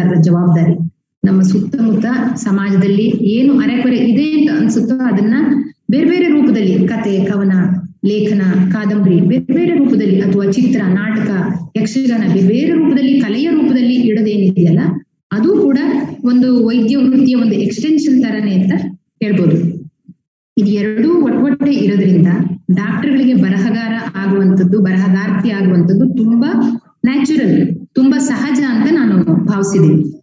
ಆ, ಒಬ್ಬ ವ್ಯಕ್ತಿ ಆಶಾವಾದಿಯಾಗಿದ್ರೆ ಅಥವಾ ವಾಸ್ತವವಾದಿಯಾಗಿದ್ರೆ ಅಥವಾ ತುಂಬಾ ಒಳ್ಳೆಯ ಕೇಳುಗರಾಗಿದ್ರೆ ಅಥವಾ ಸೂಕ್ಷ್ಮ ಗ್ರಹಿಕೆ ಇರೋರಾಗಿದ್ರೆ, ದೀರ್ಘ ಮುನ್ನೋಟ ಉಳ್ಳೋರಾಗಿದ್ರೆ ಮತ್ತೆ ಹಗುರವಾಗಿ ಯಾವುದೇ ಒಂದು ತೀರ್ಮಾನಕ್ಕೂ ಇಳಿಯ, ಇಳಿದೇ ಇರುವಂತವರಾಗಿದ್ರೆ ಅಂಥವ್ರು ಉತ್ತಮ ಬರಹಗಾರ, ಬರಹಗಾರ್ತಿ ಆಗ್ಬೋದು. ಅಂಥವರೇ ಉತ್ತಮ ವೈದ್ಯ ವೈದ್ಯರು ಕೂಡ ಆಗ್ಬೋದು. ಸೊ ಈ ಬರಹ ವೈದ್ಯೆಯಾಗಿ ಬರಹಗಾರ್ತಿಯಾಗಿದ್ರು ಅನುಪಮ ಅನ್ನುವಂಥದ್ದು, ಆ, ಒಂದು ಅಪವಾದ ಅಲ್ಲ, ಅಥವಾ ಆಕಸ್ಮಿಕ ಅಲ್ಲ. ಅದು ತುಂಬಾ ಸಹಜ, ಮತ್ತೆ ತುಂಬಾ ನ್ಯಾಚುರಲ್ ನಾನು ಇದನ್ನ ಯಾಕಿಷ್ಟು ವಿವರವಾಗಿ ಹೇಳ್ತಿದ್ದೀನಿ ಅಂತಂದ್ರೆ, ಇವತ್ತಿಲ್ಲಿ ನಮ್ಮ ವ್ಯೂಯರ್ಸ್ ಅಲ್ಲಿ ತುಂಬಾ ಜನ ಡಾಕ್ಟರ್ಗಳಿದ್ದಾರೆ ತುಂಬಾ ಜನರ ಮನಸ್ಸಲ್ಲಿ ಕತೆಗಳು ಕವಿತೆಗಳು, ಕಾದಂಬರಿಗಳು ಆತರ ತರ ಅಡ್ಕೊಂಡು ಕೂತಿದಾವೆ. ಎಷ್ಟೋ ಜನರಿಗೆ ಎದೆಯಲ್ಲಿದ್ದನ್ನ ಪೆನ್ನಿಗೆ ತರಕ್ಕೆ ಒಂದ ಸಮಯ ಸಿಗ್ತಾ ಇಲ್ಲ ಅಥವಾ ಅವರಿಗೆ ನಂಬಿಕೆ ಇಲ್ಲ. ಅಂದ್ರೆ ಈ ಬರವಣಿಗೆಯಿಂದ ಏನೋ ಆಗುತ್ತೆ ಅಂತ ನಂಬಿಕೆ ಇಲ್ಲ. ಅದಕ್ಕೆ ಬರೀದೇ ಇದ್ದಾರೆ. ಆದ್ರೆ ಡಾಕ್ಟರ್ಗಳು ಸಾಧ್ಯ ಆದಷ್ಟು ಬರವಣಿಗೆಗೆ ತೊಡಕೊಳ್ಬೇಕು. ಬರವಣಿಗೆ ಅಂದ್ರೆ ಏನ್? ಎಲ್ಲರೂ ಪದ್ಯನೇ ಬರಿಬೇಕು, ಎಲ್ಲರೂ ಕತೆ ಕಾದಂಬರಿನೇ ಬರಿಬೇಕು ಅಂತ ಇಲ್ಲ. ಜನರಿಗೆ ಸರಳ ಭಾಷೆಯಲ್ಲಿ ಇವತ್ತಿಗೆ ಅಗತ್ಯಕ್ಕೆ ತಕ್ಕಂಗೆ ಏನ್ ಬೇಕೋ ಅದನ್ನ ಹೇಳ್ತಾ ಅದನ್ನ ಬರೀತಾ, ಅದನ್ನ ಬೇರೆ ಬೇರೆ ಆರ್ಟ್ ಫಾರ್ಮ್ಗಳಿದೆ ಚಿತ್ರ ಬರೆಯೋದಿರ್ಬೋದು, ನಾಟಕಗಳಿರ್ಬೋದು, ಯಕ್ಷಗಾನ ಇರ್ಬೋದು, ಬೇರೆ ಬೇರೆ ಅಥವಾ ಫೋಟೋಗ್ರಫಿ ಇರ್ಬೋದು. ನಮಗೆ ಏನ್ ಹೇಳ್ಬೇಕನ್ಸುತ್ತೋ ಎಕ್ಸ್ಪ್ರೆಸ್ ಮಾಡ್ಬೇಕನ್ಸುತ್ತೋ, ಅದನ್ನ ಮಾಡೋದು ಡಾಕ್ಟರ್ಗಳಿಗೆ ತುಂಬಾ ಅವಶ್ಯ ಅಂತ ನಾನು ಭಾವಿಸ್ತೀನಿ.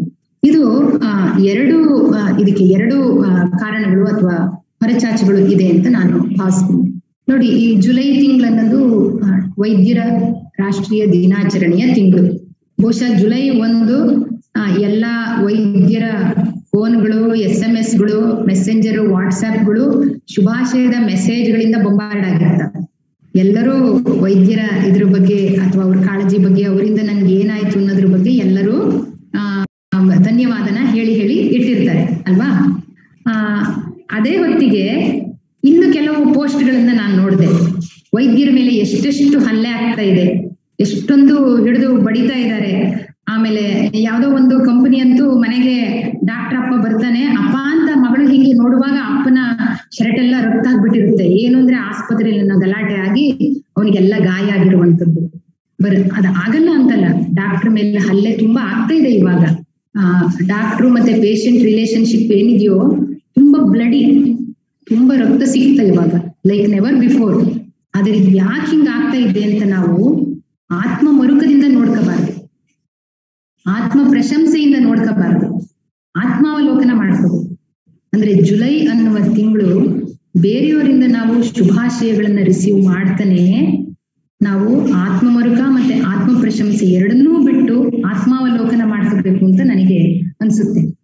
ಯಾಕೆಂದ್ರೆ ನೀವು ಯಾವಾಗ್ಲೇ ನೋಡ್ರಿ, ಆ, ತುಂಬಾ ಸಲ ನಾವು ಮಾತಾಡ್ಕೊಳ್ತಾ ಇರ್ತೀವಿ. ಪೇಷಂಟ್ ಕಡೆಯ ವಿವರಗಳನ್ನಷ್ಟೇ ವರ, ಇದರಲ್ಲಿ ಬರ್ತಾ ಇರುತ್ತೆ. ಪೇಷಂಟು ಅಥವಾ ಅವ್ರನ್ನ ದಮನಿತರು ಅಥವಾ ಬಾಧಿತರು ಅಂತ ಭಾವಿಸಿ ಅವರ ಕಡೆಯ ವಿವರಗಳು ಬರ್ತಾ ಇರುತ್ತೆ.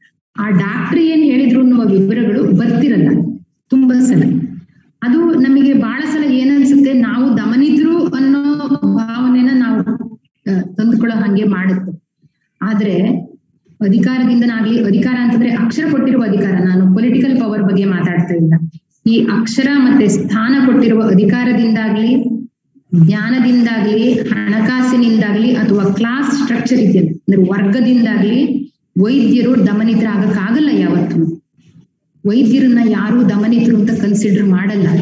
ವೈದ್ಯರಿರ್ಬೋದು, ವಕೀಲರಿರ್ಬೋದು, ಪೊಲೀಸರಿರ್ಬೋದು, ರಾಜಕಾರಣಿಗಳಿರ್ಬೋದು, ಅವ್ರಿಗೆ ಎಲ್ಲೋ ಸ್ಟ್ರೇ ಇನ್ಸಿಡೆಂಟ್ ಅಲ್ಲಿ ಅಯ್ಯೋ ಪಾಪ ಅಂದಾರೆ ಹೊರತು ನೀವು ಇಡೀ ಒಂದು ಸಂಕುಲ ಆಗಿ ತಗೊಂಡವಾಗ ಪೌರ ಕಾರ್ಮಿಕರು ಅಥವಾ ಇನ್ಯಾರೋ ಒಂದು ಇಡೀ ಗ್ರೂಪ್ ಆಗಿ ಅವ್ರನ್ನ ಹೆಂಗೆ ನಾವು ಒಂದು ದಮನಿತ ಅಥವಾ ಅಪ್ರೆಸ್ಡ್ ಅಥವಾ ವಂಚಿತ ಕಮ್ಯುನಿಟಿ ಅಂತ ತಗೊಳ್ತೀವೋ ಹಾಗೆ ಡಾಕ್ಟರ್ನ ನೋಡಲ್ಲ. ಯಾಕೆಂದ್ರೆ ನಮಗೆ ಅಧಿಕಾರ, ಸ್ಥಾನ, ಮನ್ನಣೆ, ಗೌರವ ತಂತಾನೇ ಸಿಕ್ಕಿರುತ್ತೆ. ಎದೆ ಮೇಲೆ ಒಂದು ಸ್ಟೆಪ್ ಹಾಕೊಂಡು ಹೋದ ಕೂಡಲೇ ಬರೀ August M B B S ಮುಗಿಸಿರೋ ಡಾಕ್ಟ್ರಿಗೂ ಕೂಡ ಒಂದು ವಯಸ್ಸಾಗಿರುವ ವೃದ್ಧೆ ಬಂದ್ರೂ ಕೂಡ ಅಮ್ಮ ಅಪ್ಪ ಅಂತ ಹೇಳ್ತಾರೆ. ಅಂದ್ರೆ ಅಷ್ಟು ಗೌರವ ಕೊಡ್ತಾರೆ. ನಾವು ಅವ್ರ ಹತ್ರ ಹಣಕಾಸನ್ನ ತಗೊಂಡು ಔಷಧ ಕೊಟ್ರು ಕೂಡ ನಮಗೆ ಅಷ್ಟೊಂದು ಗೌರವನ ಕೊಟ್ಟಿರ್ತಾರೆ. ಯಾಕೆ ಅಷ್ಟು ಗೌರವ ಕೊಟ್ಟಿರ್ತಾರೆ? ಅವ್ರು ಕೊಟ್ಟಿರುವ ಹಣಕ್ಕೆ ನಾವು ನಮ್ಮ ಸಮಯವನ್ನ ಮತ್ತೆ ನಮ್ಮ ಇಡೀ ಜ್ಞಾನನ, ಈ ಕಾಯಿಲೆ ಮತ್ತೆ ರೋಗ ಪರಿಹಾರದ ಇಡೀ ಜ್ಞಾನ ಏನಿದೆಯೋ ಆ ಜ್ಞಾನನ ಒಳ್ಳೆ ದಿಕ್ಕಲ್ಲಿ ವಿನಿಯೋಗ ಮಾಡ್ತೀವಿ ಅಂತ ಒಂದು ವಿಶ್ವಾಸ ಇಟ್ಟಿದ್ದಾರೆ ಅವ್ರು ನಮಗೆ. ಅದಕ್ಕೋಸ್ಕರ ಅಷ್ಟು ಗೌರವ ಕೊಡ್ತಾರೆ. ಈ ವಿಶ್ವಾಸಕ್ಕೆ ಏನಾದ್ರೂ ಧಕ್ಕೆ ಬಂದ್ರಿದೆಯಲ್ಲ ಅವಾಗ ಅವ್ರಿಗೆ ಆಗುವ ಆಘಾತಕ್ಕೆ ಹೋಲಿಕೆನೇ ಇಲ್ಲ. ಈಗ ಹೇಗೆ ತಾಯಿ ತಂದೆ ಇಬ್ರು ಒಬ್ಬ ಮಗುವಿನ ಪಾಲಕರಾಗಿ ಕೇರ್ ಟೇಕರ್ ಆಗಿ ಅವರೇ ಏನಾದ್ರೂ ವಿಶ್ವಾಸ ದ್ರೋಹ ಮಾಡಿದ್ರೆ ಅದು rarest of the rare case ಅಂತ ಕೋರ್ಟ್ ಕನ್ಸಿಡರ್ ಮಾಡುತ್ತೋ? ಹಾಗೆ ವೈದ್ಯರ ಮೇಲೆ ರೋಗಿಗಳು ಇಟ್ಟಿರುವ ವಿಶ್ವಾಸಕ್ಕೆ ಘಾತ ಆಗುವಂಗ್ ನಾವೇನಾದ್ರೂ ನಡ್ಕೊಂಡ್ರೆ ಅದಕ್ಕೆ ಹೋಲಿಕೆನೇ ಇಲ್ಲ. ಹಾಗಾಗಿ ಈ ರೀತಿ ಆಗ್ದಂಗೆ ನಾವೇನ್ ಮಾಡ್ಬೇಕು? ಪದೇ ಪದೇ ಆತ್ಮಾವಲೋಕನ ಮಾಡ್ಕೋಬೇಕು ಅಂತ ನನಗನ್ಸುತ್ತೆ. ಅಂದ್ರೆ ಆ at the end of the day ನಾವು ಉಳಿದ ವಿಷಯಗಳನ್ನ ಹೆಂಗ ಆತ್ಮಾವಲೋಕನ ಮಾಡ್ಕೊಳ್ತೀವೋ. ಇವತ್ತು ಎಷ್ಟು ಅನ್ನೆಸೆಸರಿ ಪ್ರಿಸ್ಕ್ರಿಪ್ಷನ್ ಬರ್ದಿದ್ದೀನಿ. ಇವತ್ತು ಎಷ್ಟು ಅನ್ನೆಸೆಸರಿ ಇನ್ವೆಸ್ಟಿಗೇಷನ್ ಬರ್ದಿದ್ದೀನಿ. ಇವತ್ತು ಯಾವ ಪೇಷಂಟ್ಗೆ ಇನ್ನೊಂದು ಸ್ವಲ್ಪ ವಿವರವಾಗಿ ಹೇಳ್ಬೋದಾಗಿತ್ತು. ಆದ್ರೂ ಡರ್ ಅಂತ ಏನೋ ಒಂದು ಸಿಟ್ ಮಾಡ್ಕೊಂಡೆ. ಇದನ್ನೆಲ್ಲ ನಾವ್ ಯಾರಿಗೂ ವರದಿ ಒಪ್ಸೋದ್ ಬೇಡ. ಡೈರಿ ಬರೆಯೋದು ಬೇಡ. ಮಲಗಕ್ ಮುಂಚೆ ಐದ್ ನಿಮಿಷ ಮುಂಚೆ ಇದನ್ನ ಜಸ್ಟ್ ನಮ್ಮ ಕಣ್ಣೆದುರುಗಡೆ ತಂದ್ಕೊಂಡ್ರೆ ಆತ್ಮಾವಲೋಕನ ಮಾಡ್ಕೊಂಡ್ರೆ ಅವಾಗ ಈ ಪೇಷಂಟ್ ಡಾಕ್ಟರ್ ರಿಲೇಶನ್ಶಿಪ್ ಇದೆಯಲ್ಲ? ಇದು ಎಷ್ಟು ಬ್ಲಡಿ ಆಗಿದೆಯಲ್ಲ ಇದು? ಇದು ಸ್ವಲ್ಪ ಕಡಿಮೆ ಆಗುತ್ತೆ ಅಂತ ನನಗೆ ಅನ್ಸುತ್ತೆ. ನಾನು ತುಂಬಾ ಏನು ವಯಸ್ಸಾದೊಳಗೆ ಎಲ್ಲರಿಗೂ ಸಲಹೆ ಕೊಡ್ತಾ ಇದ್ದೀನಿ ಅಂತ ಕೆಲವರಿಗೆ ಸಿಟ್ಟು ಬಂದ್ರೂ ಬರ್ಬೋದು. ಅಥವಾ ಯಾರು ನಿಜವಾಗಿ ಆತರ ಹಲ್ಲೆಗಳನ್ನ ಎದುರಿಸಿದಾರೋ ಅವರಿಗೆ ಏನೋ ಪುರಾಣ ಹೇಳ್ತಿದ್ದಾರೆ ಅಂತನೂ ಅನ್ನಿಸ್ಬೋದು. ಆದ್ರೆ ಇಲ್ಲ. ಈ ಇದೇನಿದೆಯೋ, ಅಂದ್ರೆ ಈ ಡಾಕ್ಟರ್ ಮತ್ತೆ ಪೇಷಂಟ್ ರಿಲೇಶನ್ಶಿಪ್ ಅನ್ನ ಬೆಟರ್ ಮಾಡೋದೇನಿದೆಯೋ, ಇದು ನಮ್ ಸೈಡ್ ಇಂದಾನೆ ಬರ್ಬೇಕು. ಡಾಕ್ಟರ್ಗಳ ಸೈಡ್ ಬರಬೇಕು. ಬರ್ಬೇಕು ಈ ಆತ್ಮಾವಲೋಕನಕ್ಕೆ ಡಾಕ್ಟರ್ನ ರೆಡಿ ಮಾಡ್ಲಿಕ್ಕೆ, ಓಕೆ, ಒಂದು ಹಂತದ ಆಧ್ಯಾತ್ಮ ಸ್ಪಿರಿಚುಯಾಲಿಟಿ ಇಟ್ ಈಸ್ ನೆಸೆಸರಿ ಅದು ಯಾರ್ಯಾರಿಗೆ ಯಾವ್ಯಾವ ತರದ ಸ್ಪಿರಿಚುಯಾಲಿಟಿ ಬೇಕೋ ಅದನ್ನ ಅವರು ಹುಡುಕೊಂಡು ಹೋಗ್ಲಿ. ಆದ್ರೆ ಸಾಹಿತ್ಯದ ಓದು ಮತ್ತೆ ಬರಹ ಇದು ನಮ್ಮನ್ನ ಆತ್ಮಾವಲೋಕನಕ್ಕೆ ಹಚ್ಚುತ್ತೆ. ಅಂದ್ರೆ ನಮ್ಮ ಬ್ಲೋಟೆಡ್ ಇಗೋ ಇದೆಯಲ್ಲ, ನಮ್ಮ ಇಗೋ ಹೆಂಗಿರುತ್ತೆ ಅಂದ್ರೆ ನನಗಿಂತ ದೊಡ್ಡ ಆಗ್ಬಿಟ್ಟಿರುತ್ತೆ ಅಂದ್ರೆ ಆ ನಾನು ಅನ್ನೋದೇನಿದೆಯೋ ನಿಜವಾದ ನಾನು ಇದೆಯಲ್ಲ? ಅದು ಕಲ್ಪಿತ ನಾನು, ನನ್ನ ನಿಜದ ನಾನು ಸಿಕ್ಕಾಪಟ್ಟೆ ದೊಡ್ಡ ಆಗ್ಬಿಟ್ಟಿರುತ್ತೆ ಆದ್ರೆ ಇಲ್ಲ, ನೀನು ಇಷ್ಟೇ ನಿಜವಾಗಿ ಇರೋದು ಅಂತ ಒಂದು ಕನ್ನಡಿ ಬೇಕು. ಆ ಕನ್ನಡಿನ ನಮಗೆ ಬರಹ ಮತ್ತೆ ಓದು ಎರಡೂ ಒದಗಿಸ್ಕೊಡ್ತಾರೆ ಸೊ ಈ ಆತ್ಮಾವಲೋಕನಕ್ಕೋಸ್ಕರನಾದ್ರೂ ನಾವು ವೈದ್ಯರು ಪ್ರಾಕ್ಟೀಸಿನ ಜೊತೆ ಜೊತೆಗೆ ಆರ್ಟ್ ಫಾರ್ಮಿನ ಕಡೆಗೆ ಒಲಿಬೇಕು. ಆರ್ಟ್ ಫಾರ್ಮ್ ಅಂದ್ರೆ ಎಲ್ಲರೂ ಬರಿಬೇಕಂತಲ್ಲ. ಓದ್ಬೋದು ಅಥವಾ ಚಿತ್ರ ಬರಿಬಹುದು ಅಥವಾ ಬೇರೆ ಇನ್ನೊಂದು ಏನೋ ಆ ತರದ ಆಕ್ಟಿವಿಟಿಯಲ್ಲಿ ಅಂದ್ರೆ ಪೇಷಂಟ್ ಡಾಕ್ಟರ್ ರಿಲೇಶನ್ಶಿಪ್ಪಿನ ಹೊರತಾಗಿ ಬೇರೆ ಯಾವುದೋ ಒಂದು ಸಂಬಂಧನ ಈ ಸಮಾಜದ ಜೊತೆಗೆ ನಾವು ಏರ್ಪಡಿಸ್ಕೊಳ್ಬೇಕು. ಈಗ ಎಷ್ಟೊಂದ್ ಸಲ ನಮ್ಮ ಹತ್ರ ಪೇಷಂಟ್ ಬರ್ತಾರಲ್ಲ, ದಿನಕ್ಕೆ ನಾವು ಐವತ್ತು ಪೇಷಂಟ್ ನೋಡಿದ್ರೆ, ನೂರ್ ಪೇಷಂಟ್ ನೋಡಿದ್ರೆ at the end of the day ನಾವು ಎಷ್ಟು ಜನ ನಾವು ಎರಡನೇ ಸಲ ಬರುವಾಗ ನೆನ್ಪಿಟ್ಕೊಳ್ತೀವಿ? ನೆನ್ಪಿಟ್ಕೊಂಡ್ರೆ ಹ್ಯಾಗ್ ನೆನ್ಪಿಟ್ಕೊಳ್ತೀವಿ? ಓ, ಅದು ಪಾರ್ಕಿಂಗ್ ಸನ್ಸ್ ಓ, ಅದು ಸಿ ಎ ಬ್ರೆಸ್ಟ್. ಅಥವಾ ಅದು ಟ್ವಿನ್ ಪ್ರೆಗ್ನೆನ್ಸಿ ಅಥವಾ ಈ ತರದ ಅಂದ್ರೆ ಅವ್ರನ್ನ ಕಾಯಿಲೆ ಮೂಲಕ ನೆನ್ಪಿಟ್ಕೊಳ್ತೀವಿ. ಇದು ಒಂದ ಲೆಕ್ಕಕ್ಕೆ ಒಳ್ಳೇದು. ಅಂದ್ರೆ ಹೀಗೆ ನಾವು ನಿರ್ಭಾವಕವಾಗಿ ಆ ಪೇಷಂಟ್ ಅನ್ನ ನೋಡ್ಬೇಕು. ಆದ್ರೆ ಒಂದು ಹ್ಯೂಮನ್ ರಿಲೇಶನ್ಶಿಪ್ ನಮ್ಮ ಮಧ್ಯೆ ಏರ್ಪಡಕ್ಕೆ, ಅದ್ರ ಆಚೆಗೆ, ಓ, ಆ ಹುಡುಗಿ ಅಲ್ಲ, ಅಥವಾ ಅವರಲ್ಲ ಅಂತ ಅವ್ರು ಯಾವ್ದೋ ಒಂದು ಪಾಸಿಟಿವ್ ಗುಣದ ಜೊತೆ ಅವ್ರನ್ನ ನೆನಪಿಟ್ಕೊಂಡು ಒಂದು ತಂತುನ ಬೆಳೆಸ್ಕೊಳ್ಬೇಕು. ಅದಕ್ಕೆ ಡಾಕ್ಟರ್ಗಳೆಲ್ಲ ಆರ್ಟ್ ಫಾರ್ಮಿನ ಕಡೆಗೂ ಸ್ವಲ್ಪ ಒಲಿಬೇಕು ಅಂತ ಅನ್ಸುತ್ತೆ. ಬಹುಪಾಲು ಡಾಕ್ಟರ್ಗಳು, ನೀವು ನೋಡಿ ಬೇಕಾದ್ರೆ ನೀವೇ ನಿಮ್ಮಲ್ಲಿ ಎಷ್ಟೋ ಜನ ಸಿಂಗರ್ಸ್ ಇದೀವಿ ನಮ್ಮಲ್ಲಿ. ಎಷ್ಟೋ ಜನ ರೈಟರ್ಸ್ ಇದೀವಿ ಎಷ್ಟೋ ಡ್ಯಾನ್ಸರ್ಸ್ ಇದೀವಿ ರ್ಯಾಪರ್ಸ್ ಇದೀವಿ ಆಮೇಲೆ ಎಷ್ಟೋ ಜನ ಬರಹಗಾರರು, ಚಿತ್ರ ಬರೆಯೋರು ಫೋಟೋಗ್ರಾಫರ್ಸ್ ಬೇರೆ ಬೇರೆ ಇದು ತುಂಬಾ ಜನ ಇದೀವಿ ನಮ್ಮ ಮಧ್ಯ. ಆದ್ರೂ ಕೂಡ ನಾವು ಅದ್ರ ಕಡೆ ಹೋಗಿಲ್ಲ. ಸೊ ಈ ಇದನ್ನ ಬೆಳೆಸ್ಕೊಳ್ಬೇಕು ಅಂತ ಹೇಳಕ್ಕೆ ನಾನು ಅನುಪಮಾ ನಿರಂಜನ ಅವರ ಈ ಒಂದು ವೇದಿಕೆ ಮೂಲಕ, ಈ ಒಂದು ಅವಕಾಶದ ಮೂಲಕ ನಿಮ್ ಎಲ್ಲರ ಜೊತೆ ಹಂಚ್ಕೊಳಕ್ಕೆ ಇಷ್ಟಪಟ್ಟೆ ಅಂತ ಅನ್ಸುತ್ತೆ. ಮತ್ತೆ ನನ್ನ ಸಮಯ ಮುಗಿತ ಬಂತು ಸಾಧಾರಣ ಏಳು ಇಪ್ಪತ್ತಾಯ್ತು ಅಂತ ಅನ್ಸುತ್ತೆ. ಆ, ಅಲ್ವಾ ವೀಣಾ? ಸಮಯ ಮುಗಿತ ಬಂತು. ಆದ್ರೆ ಇವಾಗ ನೀವು ಹೇಳಿದ್ರಲ್ಲ ಹಾಡ್ಲಿಕ್ ಬರೋರು ಹಾಡ್ಬೇಕಂತ. ಈಗ ನನ್ಗೆ ನೀವು ಚಿನ್ನ ಚಿನ್ನಸ್ವಾಮಿ ಬರೆದು ಹಾಡು ಹಾಡ್ಬೇಕು. ಓಕೆ. ಓಕೆ. ಆ, ಅದು ಹಾಡಿಗಿಂತ ಮುಂಚೆ ಈ ಹಾಡು ಮತ್ತೆ ಆರ್ಟ್ ಫಾರ್ಮ್ ನಮ್ಮನ್ನ ಏನ್ ಮಾಡ್ಬೋದು ಅಂದ್ರೆ, ಈಗ ನಾನ್ ಅಂದ್ರೆ ಒಂದ್ ಮಣಿ ಇದ್ದಂಗೆ, ವೀಣಾ ಅಂದ್ರೆ ಒಂದ್ ಮಣಿ, ಮದ್ದು ಅಂದ್ರೆ ಒಂದ್ ಮಣಿ, ವನ್ಮಾಲ ಅಂದ್ರೆ ಒಂದ್ ಮಣಿ, ತಿಮ್ಮರಾಜು ಅಂದ್ರೆ ಒಂದ್ ಮಣಿ, ಬರೀ ಮಣಿಗಳನ್ನ ರತ್ನಗಳನ್ನ ಇಟ್ರೆ ಏನೂ ಉಪಯೋಗ ಇಲ್ಲ. ಅದನ್ನ ಒಂದಕ್ಕೊಂದಕ್ಕೊಂದು ಪೋಣಿಸ್ಬೇಕು. ಪೋಣಿಸ್ಬೇಕಾದ್ರೆ ಮಧ್ಯೆ ಒಂದು ಸಣ್ಣ ಹಾಲೋನಾದ್ರೂ ಇರಬೇಕು, ಒಂದು ಸಣ್ಣ ಶೂನ್ಯನಾದ್ರೂ ಕ್ರಿಯೇಟ್ ಆಗ್ಬೇಕು. ಆ ಶೂನ್ಯ ಅಥವಾ ಹಾಲೋ ಅಥವಾ ಅಹಮ್ಮನ್ನ ಕಳೆದುಕೊಳ್ಳಕ್ಕೆ ಆರ್ಟ್ ಫಾರ್ಮ್ಗಳು ಮನುಷ್ಯರಿಗೆ ಬೇಕೇ ಬೇಕು. ಸೊ ಅದಕ್ಕೋಸ್ಕರ ನಾವೆಲ್ಲರೂ ನಮ್ಮ ನಮ್ಮ ಒಳಗಿರುವ ಆ ಇನ್ನೊಂದು ನಾನು ಏನಿದೆಯೋ ಅದನ್ನ ಸ್ವಲ್ಪ ಎಪ್ಪಿಸಿ ವೈದ್ಯನೂ ಇರ್ಲಿ, ವೈದ್ಯರು ಇರ್ಲಿ, ಅದ್ರ ಜೊತೆಗೆ ಆ ಮತ್ತೊಂದನ್ನು ಕೂಡ ಜಾಗೃತ ಮಾಡ್ಕೊಳ್ಳೋ ಅವಶ್ಯಕತೆ, ಆ, ತುಂಬಾ ಇದೆ ಅಂತ ಹೇಳಿ ಈ ಅನುಪಮ ನಿರಂಜನ ಅವರ ಈ ನೆಪದಲ್ಲಿ ನಿಮ್ ಜೊತೆ ಹಂಚ್ಕೊಳ್ಳಿಕ್ಕೆ ಇಷ್ಟಪಡ್ತೀನಿ. ಈಗ ಆ ನೀವೆಲ್ಲ ಹೇಳ್ತಿದ್ದೀರಾ ಅಂತ ಕೂಡ ಚಿನ್ನಸ್ವಾಮಿ ಅವರ ಎಲುಬಿನ ಹಂದರದೊಳಗೊಂದು ಅನ್ನುವ ಹಾಡು. ಮಾತಾಡಿ ಮಾತಾಡಿ ಗಂಟೆಲ್ಲ ಕೂರ್ತು ಏನೋ ಹೆಂಗಾಗುತ್ತೆ ಗೊತ್ತಿಲ್ಲ. ಹೇಳಿ. ಪರವಾಗಿಲ್ಲ. ಇಲ್ಲ ಪರವಾಗಿಲ್ಲ ಹೇಳ್ಬಿಡ್ತೀನಿ. ಇದು ಚಿನ್ನ ಚಿನ್ನಸ್ವಾಮಿ ಸರ್ ಅವರು ಬರ್ದಿರೋ ನನ್ನ ತುಂಬಾ ಇಷ್ಟದ ಹಾಡು ಅಂತ ಹೇಳ್ಬೋದು ನನ್ನ ಎಲುಬಿನ ಹಂದರದೊಳಗೊಂದು ಮಂದಿರವಿದೆ. ನನ್ನ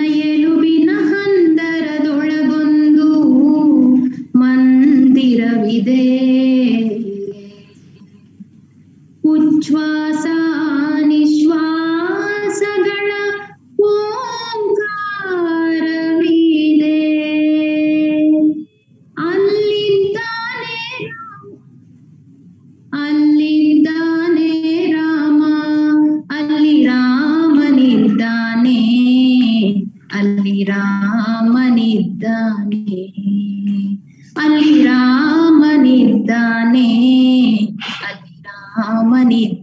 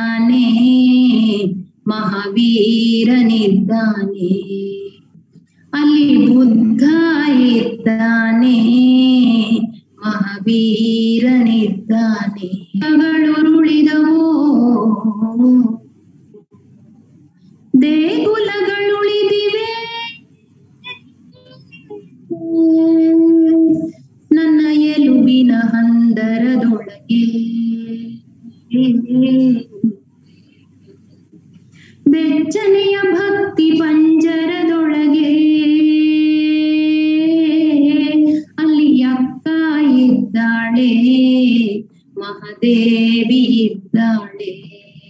ಅಲ್ಲಿ ಅಣ್ಣ ಇದ್ದಾನೆ, ಬಸವಣ್ಣ ಇದ್ದಾನೆ. ಅಲ್ಲಿ ಅವ್ವ ಇದ್ದಾಳೆ, ಮಾರವ್ವ ಇದ್ದಾಳೆ. ಅಲ್ಲಿ ಮಾರಿ ಇದ್ದಾಳೆ, ಅಲ್ಲಿ ಮೇರಿ ಇದ್ದಾಳೆ. ಮಾದೇಶ್ವರನಿದ್ದಾನೆ. ಮಂಟೇಶನಿದ್ದಾನೆ. ಮಂಟೇಶನಿದ್ದಾನೆ. ಮಂಟೇಶನಿದ್ದಾನೆ. ಎಲ್ಲರಿಗೂ ಧನ್ಯವಾದ ಇದುವರೆಗೆ ಕೇಳಿಸ್ಕೊಂಡಿದ್ದಕ್ಕೆ. ಹಾಡು ಕೇಳಿದಾಗ ತುಂಬಾ ಧನ್ಯವಾದಗಳು. ಅನುಪಮ. ಹಲೋ ಅನುಪಮ. ಧನ್ಯವಾದಗಳು. ತುಂಬಾ ಚೆನ್ನಾಗಿ ಬಂದು ಕವನ. ಜೊತೆಗೆ ಒಂದು ತಮ್ಮ ನಿರೂಪಣೆ ಏನಿತ್ತು ತುಂಬಾ ಚೆನ್ನಾಗಿ ಡಾಕ್ಟರ್ ಅನುಪಮ ನಿರಂಜನ ಬಗ್ಗೆ ತುಂಬಾ ಚೆನ್ನಾಗಿ ಹೇಳಿರಿ. ನಮ್ಗೆ ಎಷ್ಟು ವೈದ್ಯರಾಗಿ ಸುಮ್ಮನೆ ಎಷ್ಟೋ ಗೊತ್ತಿರಲಿಲ್ಲ ನಿರಂಜನ ಬಗ್ಗೆ. ತುಂಬಾ ಧನ್ಯವಾದಗಳು. Thank you sir thank you Anupama ನೀವು ಹಾಡಿದಾಗ ನಂಗೆ ನೆನಪಾಗಿದ್ದು ಭಗವದ್ಗೀತೆದು ಶ್ಲೋಕ ಯೋ ಯೋಮ್ ಯಾಮ್ ಯಾಮ್ ತನು ಭಕ್ತ ಶ್ರದ್ಧಯಾಮಿ ತುಮಿಚ್ಛಸಿ, ತಸ್ಯ ತಸ್ಯಾಚಲಂ ಶ್ರದ್ಧಾಂ ತಾಮೇಮ ವಿಧವಾಮ್ಯಹಂ ಅಂತ. ನೀನ್ ಯಾವ ರೂಪದಲ್ಲಿ ನೀನ್ ನನ್ನನ್ನ ಕಾಣ್ತೀಯೋ ಆ ರೂಪದಲ್ಲಿ ನಾನ್ ನಿಮ್ಗೆ ಕಾಣ್ತಾನೆ ಅಂತ ಕೃಷ್ಣ ಭರವಸೆ ಕೊಡ್ತಾನೆ. ಹಾಗೆ ಏ ನಾವು ಯಾವ ರೀತಿಯಲ್ಲಿ ಭಗವಂತನ ಅಥವಾ ಯಾವ ಭಾವವನ್ನು ಇಟ್ಕೋತೀವೋ ಅದು ಕಾಣುತ್ತೆ ಅನ್ನೋದು ನೆನಪಾಯ್ತು. ತುಂಬಾ ನನ್ನ ಮಾತಿಗೆ ಬೆಲೆ ಕೊಟ್ಟು ಹಾಡಿದ್ದಕ್ಕೆ ತುಂಬಾ ಧನ್ಯವಾದಗಳು. ಆ ವೀಣಾ ಭಟ್ ಅವ್ರು ಭದ್ರಾವತಿಯಿಂದ ಮಾತಾಡ್ಬೇಕಂತ ಕೇಳ್ತೇನೆ.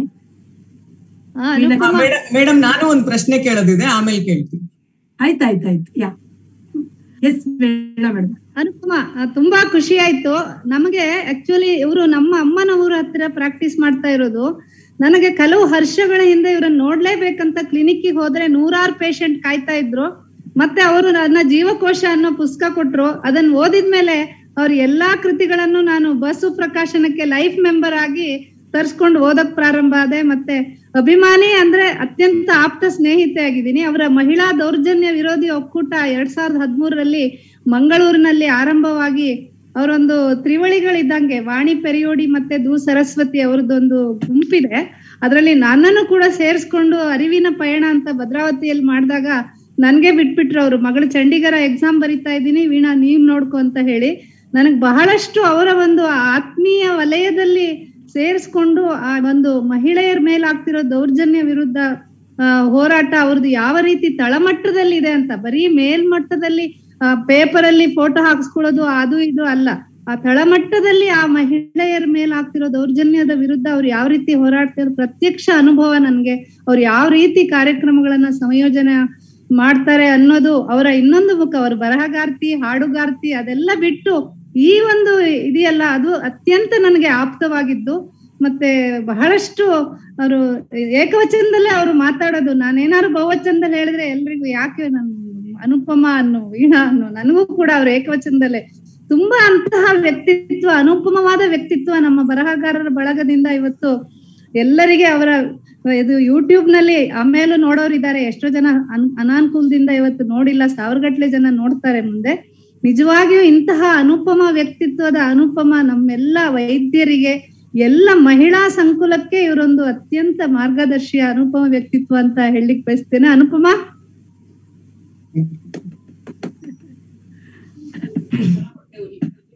ಮ್ಯೂಟ್ ಮ್ಯೂಟ್ ಆಗಿದೆ ಅನುಪಮ. ಅವರ ಅಮ್ಮ ಇದ್ದಾರೆ ಅವರ ಅಮ್ಮ ಇದ್ದಾರೆ ಅಂತ ಅನ್ಸುತ್ತೆ ಗಿರಿಜಾಂಬ. ಅವರು ಹೌದು. ಅನುಪಮ ಹೆಸರಿಟ್ಟಿದೆ ಹೆಸರಿಟ್ಟಿದ್ದೆ ಅನುಪಮ ನಿರಂಜನ ನೋಡಿ ಹೆಸರಿಟ್ಟೆ ಅಂತ ಹೇಳಿದ್ರು ಅಮ್ಮ ಅಪ್ಪ ಮೊನ್ನೆ. ಅಮ್ಮ ಮಾತಾಡ್ತಾರ ರಜನಿ ಅವರು ಮಾತಾಡ್ತಾರೆ ಡಾಕ್ಟರ್ ರಜನಿ. ಓಕೆ. ತುಂಬಾ ಸಂತೋಷ ಆಯ್ತು ಅನುಪಮ ಅವ್ರದ್ದು ಮಾತು ಕೇಳಿ. ಆ, ನಮ್ಮ ತಿಮ್ರಾಜ ಡಾಕ್ಟರ್ ಹೇಳ್ದಂಗೆ ಅನುಪಮ ಡಾಕ್ಟರ್ ಬಗ್ಗೆ ನಮ್ಗೆ ಗೊತ್ತಿಲ್ಲದೆ ಇರೋ ಎಷ್ಟೊಂದು ವಿಚಾರ ತಿಳ್ಕೊಂಡ್ವಿ. ಮತ್ತೆ ನಮ್ಮ ತಾಯಿ ಕೂಡ ಕ್ಯಾನ್ಸರ್ ಬ್ರೆಸ್ಟ್ ಅಂದ್ರೆ ಅನುಪಮ ನಿರಂಜನ್ ಅವ್ರಿಗಾಗಿತ್ತು. ಅನುಪಮ ನಿರಂಜನ್ ಅವ್ರಿಗಾಗಿತ್ತು ಅನ್ನೋ ಅಷ್ಟು ಮಟ್ಟಿಗೆ ಕ್ಯಾನ್ಸರ್ ಬ್ರೆಸ್ಟ್ ತುಂಬಾ ಅವ್ರು ಬರ್ದಿದ್ ಲೇಖನ ಅಷ್ಟೊಂದು ಫೇಮಸ್ ಆಗಿತ್ತು. ನಾನು ರೀಸೆಂಟ್ ಆಗಿ ಮಾಧವಿ ಓದ್ದೆ ರೀಸೆಂಟ್ ಆಗಿ ಅದ್ರಲ್ಲಿ ಅವರು ಯಾವ ತರ ಮಾಧವಿ ಪಾತ್ರನ ಚಿತ್ರಿಸಿದ್ದಾರೆ ಅಂದ್ರೆ ಆ ದೌರ್ಜನ್ಯನ ಅವ್ರು ಬಾಯ್ಬಿಟ್ಟು ಎಲ್ಲೂ ಹೇಳಿಲ್ಲ. ಆ ತರ ಆ ತರ ಡೈರೆಕ್ಟ್ ಆಗಿ ತಗೊಂಡೋಗಿದ್ದಾರೆ. ಮತ್ತೆ ಆ ಸೂಸೈಡಲ್ ಅಟೆಂಪ್ಟ್ ಇರ್ಬೋದು ಸೆಕ್ಷುವಲ್ ಎಕ್ಸ್ಪ್ಲಾಯ್ಟೇಷನ್ ಇರ್ಬೋದು.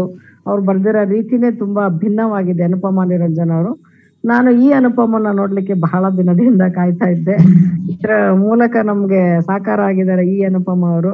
Thanks for the effort thank you very much. Presented very well and your voice is so ಮಧುರ. ಮತ್ತೆ ನೀವು ಹೇಳಿದ ಒಂದು ನಾನು ಬಹಳ ಒಪ್ತೇನೆ. ಅದು ಯಾರು ಹೇಳಿದ್ದಾರೆ ಅಂತ ನನಗೆ ಗೊತ್ತಿಲ್ಲ. ಯಾವ ಡಾಕ್ಟರ್ ಕಲೆಯನ್ನ ಪ್ರೀತಿಸ್ತಾರೋ ಅವರು ಪ್ರಾಕ್ಟೀಸ್ ಮಾಡುವ ರೀತಿಯೇ ಬೇರೆ ಇರ್ತದೆ. ಅವರು ಬೇರೆಯದೇ ರೀತಿಯ ವೈದ್ಯರಾಗ್ತಾರೆ ಅಂತ ದೇರ್ ಇಸ್ ಎ ಸೇಯಿಂಗ್ ಅದ್ ಯಾರು ಹೇಳಿದ್ದಾರೆ ಅಂತ ನನಗೆ ಜ್ಞಾಪಕ who loves art it a good doctor so ನೀವು ಹೇಳಿದ ರೀತಿ ಭಿನ್ನವಾಗಿತ್ತು but it is true only thank you very much Veena madam madam ನಾನ್ ಕೇಳ್ಬೋದಾ?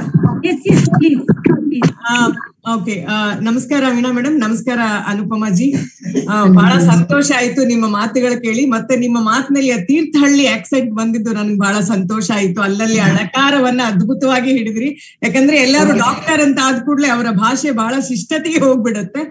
ಧನ್ಯವಾದಗಳು. ನಂದು ಎರಡು ಅಂಶಗಳಿದೆ. ಬಹಳ ಚುಟುಕಾಗಿ ಹೇಳ್ತೀನಿ.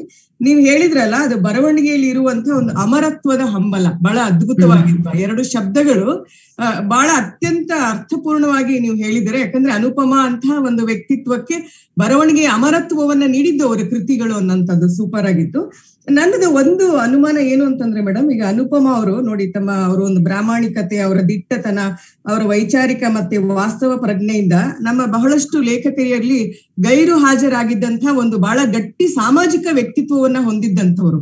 ಅವರ ಆಯ್ಕೆಗಳು ಏನಿದೆಯಲ್ಲ ಬರವಣಿಗೆಯ ಇಪ್ಪತ್ತೆರಡು ಕಾದಂಬರಿಗಳು ಅವುಗಳ ಬಗ್ಗೆ ಅಷ್ಟೊಂದು ಹೆಚ್ಚು ಚರ್ಚೆ ಆಗ್ಲಿಲ್ಲ ಅನ್ನೋಂಥದ್ದು ನನಗೆ ನೋವು. ಯಾಕಂದ್ರೆ ತಾಯಿ ಮಗು ಕೃತಿಯನ್ನ ಗಮನದಲ್ಲಿ ಇಟ್ಕೊಂಡೇ ಹೇಳ್ತಾ ಇದ್ದೀನಿ. ಅದು ಬಹಳ ಹೆಸರುವಾಸಿ ಆಯ್ತು ನಿಜ ಅದು ಮತ್ತೆ ಮತ್ತೆ ಮರುಮುದ್ರಗಳನ್ನ ಕಂಡಿತ್ತು. ಆದ್ರೆ ಆ ಒಂದು ಪ್ರಖ್ಯಾತಿ ಹೆಸರಿನಲ್ಲಿ ವಿಶೇಷವಾಗಿ ಅವರ ಋಣಮುಕ್ತಳು ಮತ್ತು ಮಾಧವಿಗೆ ಸಿಗಬೇಕಾದಂತಹ ಚರ್ಚೆ ಕನ್ನಡ ಜಗತ್ತಿನಲ್ಲಿ ಅಷ್ಟೊಂದು ಆಗ್ಲಿಲ್ಲ ಅನ್ನಂತ ನೋವು. ಯಾಕಂದ್ರೆ ನೋಡಿ, ಇರಾವತಿ ಕರ್ವೆ ಅವ್ರ ಹೆಸರು ಇಡೀ ಭಾರತಾದ್ಯಂತ ಎಲ್ಲರಿಗೂ ಗೊತ್ತು. ಅವರು ಯುಗಾಂತ ಬರೆದ್ ಕೂಡ್ಲೆ ಅವರು ಅಂತಾರಾಷ್ಟ್ರೀಯ ಮಟ್ಟದಲ್ಲಿ ಹೊಟ್ಟೋದ್ರು ಆದ್ರೆ ನಮ್ಮ ಮಾಧವಿ ಸಹ, ಅನುಪಮಾ ಮೇಡಮ್ ಅವ್ರು ಬರ್ತಿರೋ ಮಾಧವಿ ಅತ್ಯಂತ ಒಂದು ಸವಾಲಿನ ಕಠಿಣವಾದ ಕೃತಿ ಅದು. ಒಂದು ಪುರಾಣ ಪುಣ್ಯ ಕಥೆಯಲ್ಲಿ ಕಥೆಯ ಪಾತ್ರವನ್ನ ತಗೊಂಡು ಆಗಿನ ಕಾಲದಲ್ಲಿ ಆಗ್ತಿದ್ದ ಸ್ತ್ರೀ ಶೋಷಣೆಯನ್ನ ಅವರು ಬಹಳ ಅದ್ಭುತವಾಗಿ ಬರೆದಿದ್ದಾರೆ. ಆದ್ರೆ ಅದರ ಬಗ್ಗೆ ಅಂದ್ರೆ ಇರಾವತಿ ಕರ್ವಿಯವ್ರ ಬಗ್ಗೆ ಅಷ್ಟು ಬರಬೇಕಾದಂತ ಹೆಸರು ಅನುಪಮ ನಮ್ಮ ಮನಸ್ಸಿನಲ್ಲಿದ್ದಾರೆ ಅದೆಲ್ಲವೂ ನಿಜ. ಆದ್ರೆ ಅಲ್ಲ, ಭಾರತೀಯ ಇಂದಿರಾ ಮೇಡಮ್ ಏನ್ ಗೊತ್ತಾ? ಅಂದ್ರೆ ಒಬ್ಬ ಬರಹಗಾರ ಅಥವಾ ಬರಹಗಾರ್ತಿ ಬರ್ದಿದ್ದು ಒಂದೇ ಟೈಮಲ್ಲಿ ಎಲ್ಲವೂ ಮುಖ್ಯ ಅಂದ್ರೆ ಬೆಳಕಿಗೆ ಬರಲ್ಲ. ಆಯ್ತಾ? ಆಮೇಲೆ ಯಾವಾಗ್ಲೂ ಈಗ ನೋಡಿ ನಿರಂಜನ ಬರ್ದಿರೋ ಚಿರಸ್ಮರಣೆ ಈಗೆಲ್ಲ ಓದಕ್ ಶುರು ಮಾಡಿದ್ದಾರೆ. ಅಂದ್ರೆ ಈಗ ಬರ್ದಿಟ್ಟಿದಾರಲ್ಲ ಅದು ಎಲ್ಲೂ ಹೋಗಲ್ಲ. ಆಮೇಲೆ ಯಾವ್ದಾ ಒಂದಲ್ಲ ಒಂದ್ ಕಾಲದಲ್ಲಿ ಅದ್ರ ನಿಜವಾಗ್ಲೂ ಏನಾದ್ರೂ ಸತ್ವ ಇದ್ರೆ ಈ ಹಣಹಣಿಕೆನ ಎಷ್ಟೋ ಜನ ಸಾಹಿತಿಗಳು ಅಯ್ಯೋ ನಂದು ಇದನ್ನ ಯಾರು ಓದ್ಲೇ ಇಲ್ಲ. ಅಯ್ಯೋ ನಂಗೆ ಇದನ್ನ ಏನೋ ಪ್ರಶ ಅದ್ ಅದ್ ಏನ್ ನೀವು ಬರ್ದಿಟ್ಟಿದಾರ ಅಂದ್ಮೇಲೆ ಅದ್ ಅಮರ. ಇನ್ನು ಮಾಧವಿನ ಇನ್ನ ಮಕ್ಳು ಮೊಮ್ಮಕ್ಕಳು ಕೂಡ ಓದ್ಬೋದು. ಅವ್ರು ಉಳಿದ ಋಣಮುಕ್ತಳು ಅಥವಾ ಮತ್ತೆ ಉಳಿದ ಕಾದಂಬರಿಗಳನ್ನ ಯಾವಾಗ ಬೇಕಾದ್ರೂ ಓದ್ಬೋದು. ಸೊ ಇಂದಲ್ಲ ನಾಳೆ ಮತ್ತೆ ಇನ್ನೊಂದ್ ಏನಂದ್ರೆ ಕನ್ನಡದಿಂದ ತುಂಬಾ ಕೃತಿಗಳು ಇಂಗ್ಲಿಷಿಗೆ ಹೋಗಲ್ಲ. ನಾವು ಬೇರೆ ಭಾಷೆಯಿಂದ ವಿಪುಲವಾಗಿ ಕನ್ನಡಕ್ಕೆ ತಗೊಂಡ್ಬರ್ತೀವಿ ಆದ್ರೆ ಕನ್ನಡದಿಂದ ಇಂಗ್ಲಿಷ್ ಮಾತ್ರ ತುಂಬಾ ಕಡಿಮೆ. ಆ, ಅದನ್ನ ಈ ಅನುವಾದ ಇದೆಯಲ್ಲ ರಿವರ್ಸ್ ಅನುವಾದ ಆಗ್ತಾ ಇಲ್ಲ. ಸೊ ಒಳ್ಳೆ ಇಂಗ್ಲಿಷ್ ಗೊತ್ತಿರೋರು ಕನ್ನಡ ಮಾಡ್ಬೇಕು. ಅವಾಗ ಅದು ನಿಜವಾಗ್ಲೂ ಹೋಗುತ್ತೆ ಅಂತ ಅನ್ಸುತ್ತೆ. ಇಲ್ಲ ನನಗೆ ಯಾವಾಗ್ಲೂ ಅನ್ಸುತ್ತೆ ಅವರ ಬಹಳ ಗಟ್ಟಿಯಾದಂತ ಕೃತಿಗಳು ಈಗ ನಾವೆಲ್ಲ ಓದ್ತೀವಲ್ಲ ಇರಾವತಿ ಕರ್ವೆ ಅವರ ಯುಗಾಂತ್ಯದ ಬಗ್ಗೆ ಎಲ್ಲ ಎಷ್ಟೊಂದು ಎಲ್ಲ ಆಗ ಅಭ್ಯಾಸ ಮಾಡ್ಬಿಟ್ಟಿದೀವಿ. ಅದೇ ರೀತಿಯಾದಂತಹ ಒಂದು ಬಹಳ ಅದ್ಭುತವಾದಂತ ಆ ಒಂದು ಗುಣಮಟ್ಟದಲ್ಲಿ ಇರುವಂತಹ ಕೃತಿ ಅಂತ ನನ್ಗೆ ಯಾವಾಗ್ಲೂ ಅನಿಸ್ತಿರುತ್ತೆ. ಅದನ್ನ ನಿಮ್ಮ ಜೊತೆ ಹಂಚ್ಕೊಳ್ಬೇಕು ಅನಿಸ್ತದೆ ಟ್ರಾನ್ಸ್ಲೇಟ್ ಆಗ್ಬೇಕು. ಆವಾಗ ಮಾತ್ರ ಅದು ನಾವು ಅದನ್ನ ಓದಿ ಹೆಚ್ಚೆಚ್ಚು ಚರ್ಚೆ ಮಾಡೋಣ. ಪುಸ್ತಕ ಅಂತ ಹೇಳಿ ಬರ್ದ್ ಬಿಡೋಣ ಅಥವಾ ಶೇರ್ ಮಾಡ್ಕೊಳ್ಳೋಣ. ಸೊ ಈಗಿನ ಜನರೇಷನ್ ಕೂಡ ಅಲ್ಲ ಅಷ್ಟೇ ಮತ್ತಿನ್ನೇನು ಮಾಡಕ್ ಆಗಲಿ ಈಗಂತೂ. ಹಂಗ್ ಮಾಡುವ. ಯಾಕಂದ್ರೆ ಈಗಿನ ಪರಿಸ್ಥಿತಿಲಿ ಅಂತ ಸವಾಲಿನ ವಿಷಯಗಳನ್ನ ಯಾಕೂ ತಗೊಂತಾ ಇಲ್ಲ. ಆ ದೃಷ್ಟಿಯಲ್ಲಿ ಅನುಪಮ ಸರ್ವಕಾಲಿಕವಾದಂತ ಲೇಖಕಿ. ಅದನ್ನ ನಾನು ಹೇಳಕ್ ಇಷ್ಟಪಡ್ತೇನೆ. ಧನ್ಯವಾದಗಳು. ಧನ್ಯವಾದ ನಾನು ಆಕ್ಚುಲಿ ಪ್ರಾರಂಭದಲ್ಲಿ ಹೇಳಿಕ್ ಮರ್ತೆ, ಈ ಕಾರ್ಯಕ್ರಮಕ್ಕೆ ಕೂಡ ನಮ್ದು ಡಾಕ್ಟರ್ಸ್ ಡೇ ಸೆಲೆಬ್ರೇಷನ್ ಕಾರ್ಯಕ್ರಮವಾಗಿ ಅನುಪಮ ನಿರಂಜನ್ ನನ್ನ ನಾವು ತಂದಿದ್ದು. ಆ ಜುಲೈ ಬಂದ ತಕ್ಷಣ ಎಲ್ರು ಡಾಕ್ಟರ್ಸ್ ಮೆಸೇಜ್ಗಳು ನಿಜವಾಗಿ ಬರ್ಲಿಕ್ಕೆ ಶುರು ಆಗಿದ್ದು. ನಾನ್ ನೋಡಿದ ಪ್ರಕಾರ ಈ ಕೊರೋನಾದ ನಂತರ. ಇದಕ್ಕಿಂತ ಮೊದಲು ಜುಲೈ ಬಂದು ನಾವೇ ಹೇಳ್ಬೇಕಾಗಿತ್ತು doctors day doctors day doctors day ಅಂತ ಪೇಷಂಟ್ಗಳಿಗೆ ಗಳಿಗೆ ಆದ್ರೆ ಈ ಕೊರೋನಾದ ನಂತರ ಎಲ್ಲರಿಗೂ ಗೊತ್ತಾಯ್ತು ಒಂದು ಡಾಕ್ಟರ್ಸ್ ಇದಾರೆ ಡಾಕ್ಟರ್ಸ್ಗೂ ಒಂದು ಡೇ ಇದೆ ಡಾಕ್ಟರ್ಸ್ಗೂ ಕೂಡ ವಿಶ್ ಮಾಡ್ಬೇಕಂತ. ಹಾಗೆ ಆತ್ಮಾವಲೋಕನ ನಾವು ಖಂಡಿತವಾಗಿ ಮಾಡ್ಕೊಳ್ಬೇಕು. ಯಾವಾಗ ಒಂದು ಸಕ್ಸಸ್ ಆಯ್ತು ಅದು ನಂದು ಅಂತ ತಗೊಳ್ತೇನೋ ಯಾವಾಗ ಒಂದು ಸೋಲ್ ಆಯ್ತು ಅದನ್ನು ನಾನು ನಂದೇ ಅಂತ ತಗೊಳ್ಳುವಂತ ಮನಸ್ಥಿತಿ ಬೆಳೆದ್ರೆ ಅವಾಗ ಆ ತುಲ್ಯನಿಂದ ಸ್ತುತಿರ್ಮೌನಿ ಹೊಗಳದಾಗ್ಲೂ ನಾವು ಯಾರೆಲ್ಲ ತೆಗಳದಾಗ್ಲೂ ನಾವು ಕುಗ್ಗಿ ಪ್ರಾಕ್ಟೀಸ್ ಬಿಡ್ಬೇಕಾಗತ್ತೆ. ನನ್ ಬೇಡ ಬೇಡ ಪ್ರಾಕ್ಟೀಸ್ ಡಾಕ್ಟರ್ ಕೆಲ್ಸಾನೇ ಬೇಡ. ಇವಾಗ ಎಲ್ಲ ಹೇಳ್ತಾ ಇರೋದು ಹೇಗಂದ್ರೆ ಪಿ ಯು ಸಿ ಮಕ್ಳಿಗೆ ಹೇಳ್ತಾ ಇದಾರೆ ನೋಡಿ ಡಾಕ್ಟರ್ಸ್ ಹೊಡಿತಾ ಇದ್ದಾರೆ ಎಂ ಬಿ ಬಿ ಎಸ್ ತಗೋತೀರಾ? ಈ ತರದ ಮೆಸೇಜ್ಗಳು ಕೂಡ ಬರ್ತಾ ಇದೆ. ಆದ್ರೆ ಒಂದು ಸಮಾಜದಲ್ಲಿ ನಾವು ನಮ್ಮನ್ನ ಪೂರ್ತಿ ತೊಡಗಿಸ್ಕೊಳ್ಳಿಕ್ಕೆ ನಮ್ಮಿಂದ ಏನು hundred percent two hundred percent ಕೊಡ್ಲಿಕ್ಕೆ ಆಗೋದು ವೈದ್ಯಕೀಯ ಕ್ಷೇತ್ರದಲ್ಲಿ ಮಾತ್ರ. ಒಂದು ಮನುಷ್ಯನಾಗಿ ನಮ್ ಮಾಡ್ಲಿಕ್ಕೆ ಅನ್ನುವಂತ ಅವಕಾಶ ಅದು ಅಂತ ಅನ್ಕೊಳ್ಳುವ ಹಾಗೆ ನಾವು ಮಕ್ಕಳಿಗೆ ಬಿಂಬಿಸ್ಬೇಕೇ ಹೊರತು ಪೆಟ್ಟು ಕೊಡ್ತಾರೆ ಮೆಡಿಕಲ್ ಪ್ರೊಫೆಷನ್ ಹೋಗ್ಬೇಡ ಅಂತ ಹೇಳುವಂತ ಎಷ್ಟೋ ವಾಟ್ಸ್ಆಪ್ ಮೆಸೇಜ್ ಗಳನ್ನ ನಾನು ನೋಡಿದ್ದೀನಿ. ಹಾಗಾಗಿ ನಾವು ತುಂಬಾ ವರ್ಷ ಆಗುತ್ತೆ ಅಂತ. ತಕ್ಷಣ ದುಡಿಮೆ ಸಾಧ್ಯ ಆಗಲ್ಲ. ಹತ್ತು ವರ್ಷನಾದ್ರೂ ಬೇಕಾಗುತ್ತೆ ಹದಿನೈದು ವರ್ಷ ಓದ್ಬೇಕಾಗುತ್ತೆ ಅನ್ನೋದು ಅದು ಇನ್ನೊಂದಿದೆ. ಅಂದ್ರೆ ಇಮ್ಮಿಡಿಯೇಟ್ ಅನ್ನೋದು ಒಂದಿದೆ.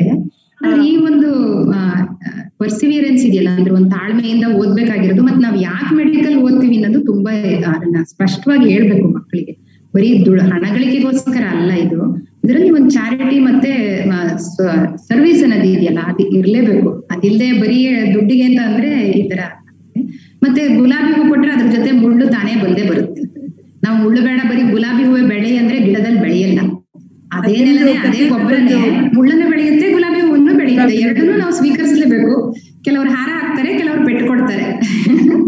ಮುಳ್ಳುತ್ತೀವಿ ಎಲ್ಲಿ ಅನ್ನೋದ್ರ ಮೇಲೆ ಹೋಗುತ್ತೆ ಅಷ್ಟೇ.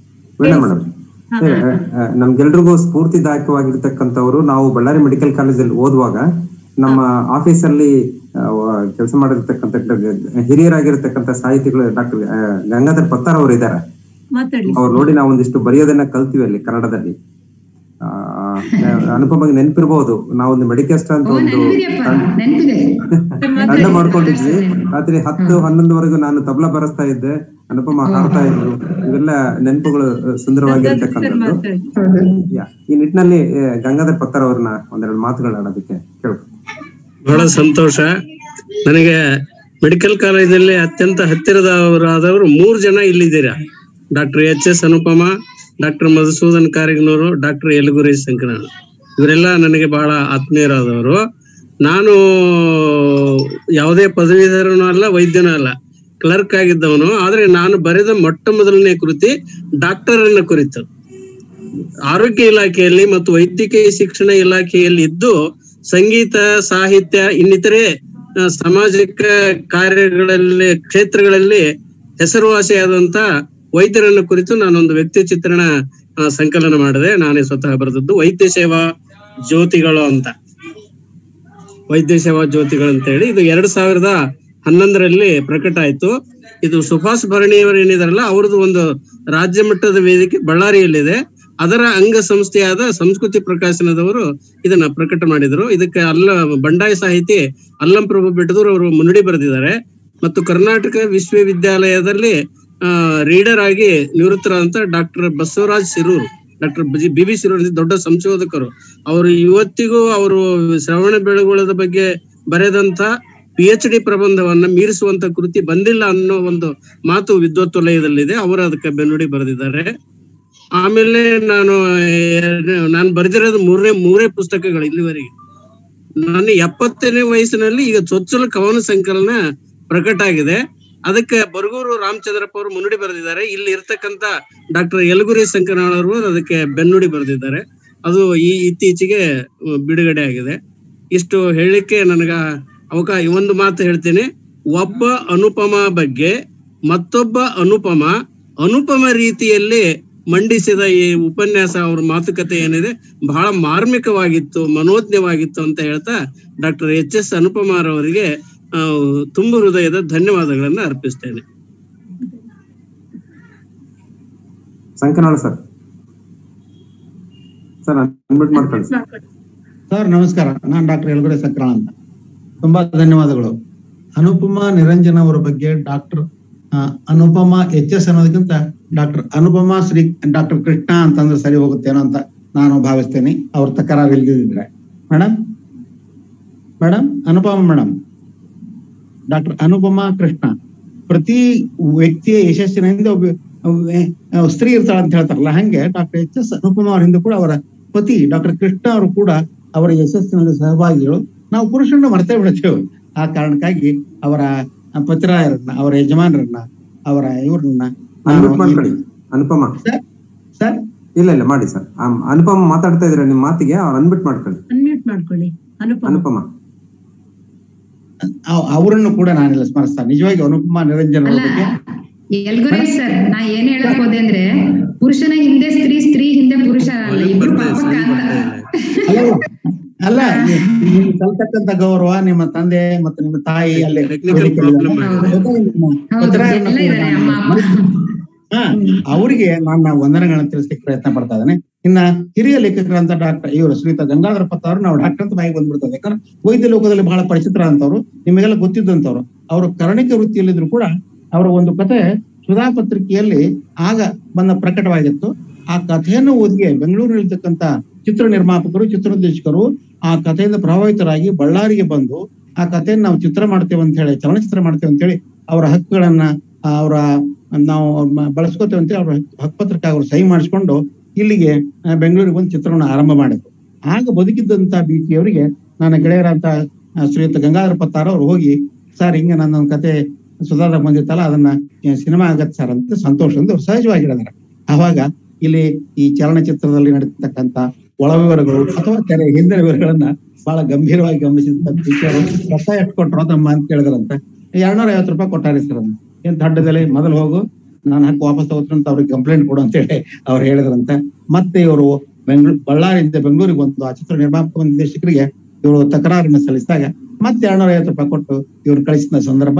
ಆ ಚಿತ್ರಕಥೆ, ಆ ಚಲನಚಿತ್ರದಲ್ಲಿ ವಿಷ್ಣುವರ್ಧನ್ ಅವ್ರ ನಾಯಕರು, ಮಾಧವಿ ಅವರು ನಾಯಕಿಯಾಗಿ ಅಭಿನಯಿಸಿದಂತ ಒಳ್ಳೆ ಚಲ, ಚಲನಚಿತ್ರ ಅದು.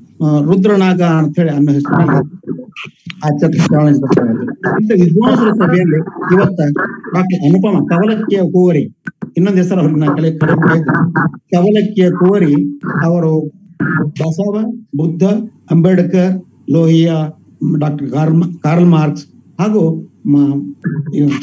ಹಿಮೆನ್ ರಾಯ್ ಇವರೆಲ್ಲ ಸಿದ್ಧಾಂತಗಳನ್ನು ಒಳಗೊಂಡಂತ ಅವರ ಬರಹಗಳಿಗಾಗಿ ಅವರ ಹೋರಾಟದ ಕೃತಿಗಳಿಗಾಗಿ ನಾನು ಅಡಿಮುಡಿ ಅವರಿಗೆ ನಾನು ತಲೆಬಾಗಿ ಶಿರ ಶಿರವಾಗಿ ಕೈ ಜೋಡಿಸಿ ಅವರಿಗೆ ನಮ್ಮೆಲ್ಲ ಬರಹಗಾರರ ಪರವಾಗಿ ನಾನು ವಂದನೆಗಳನ್ನು ಸಲ್ಲಿಸ್ತಾ ಇದ್ದೇನೆ.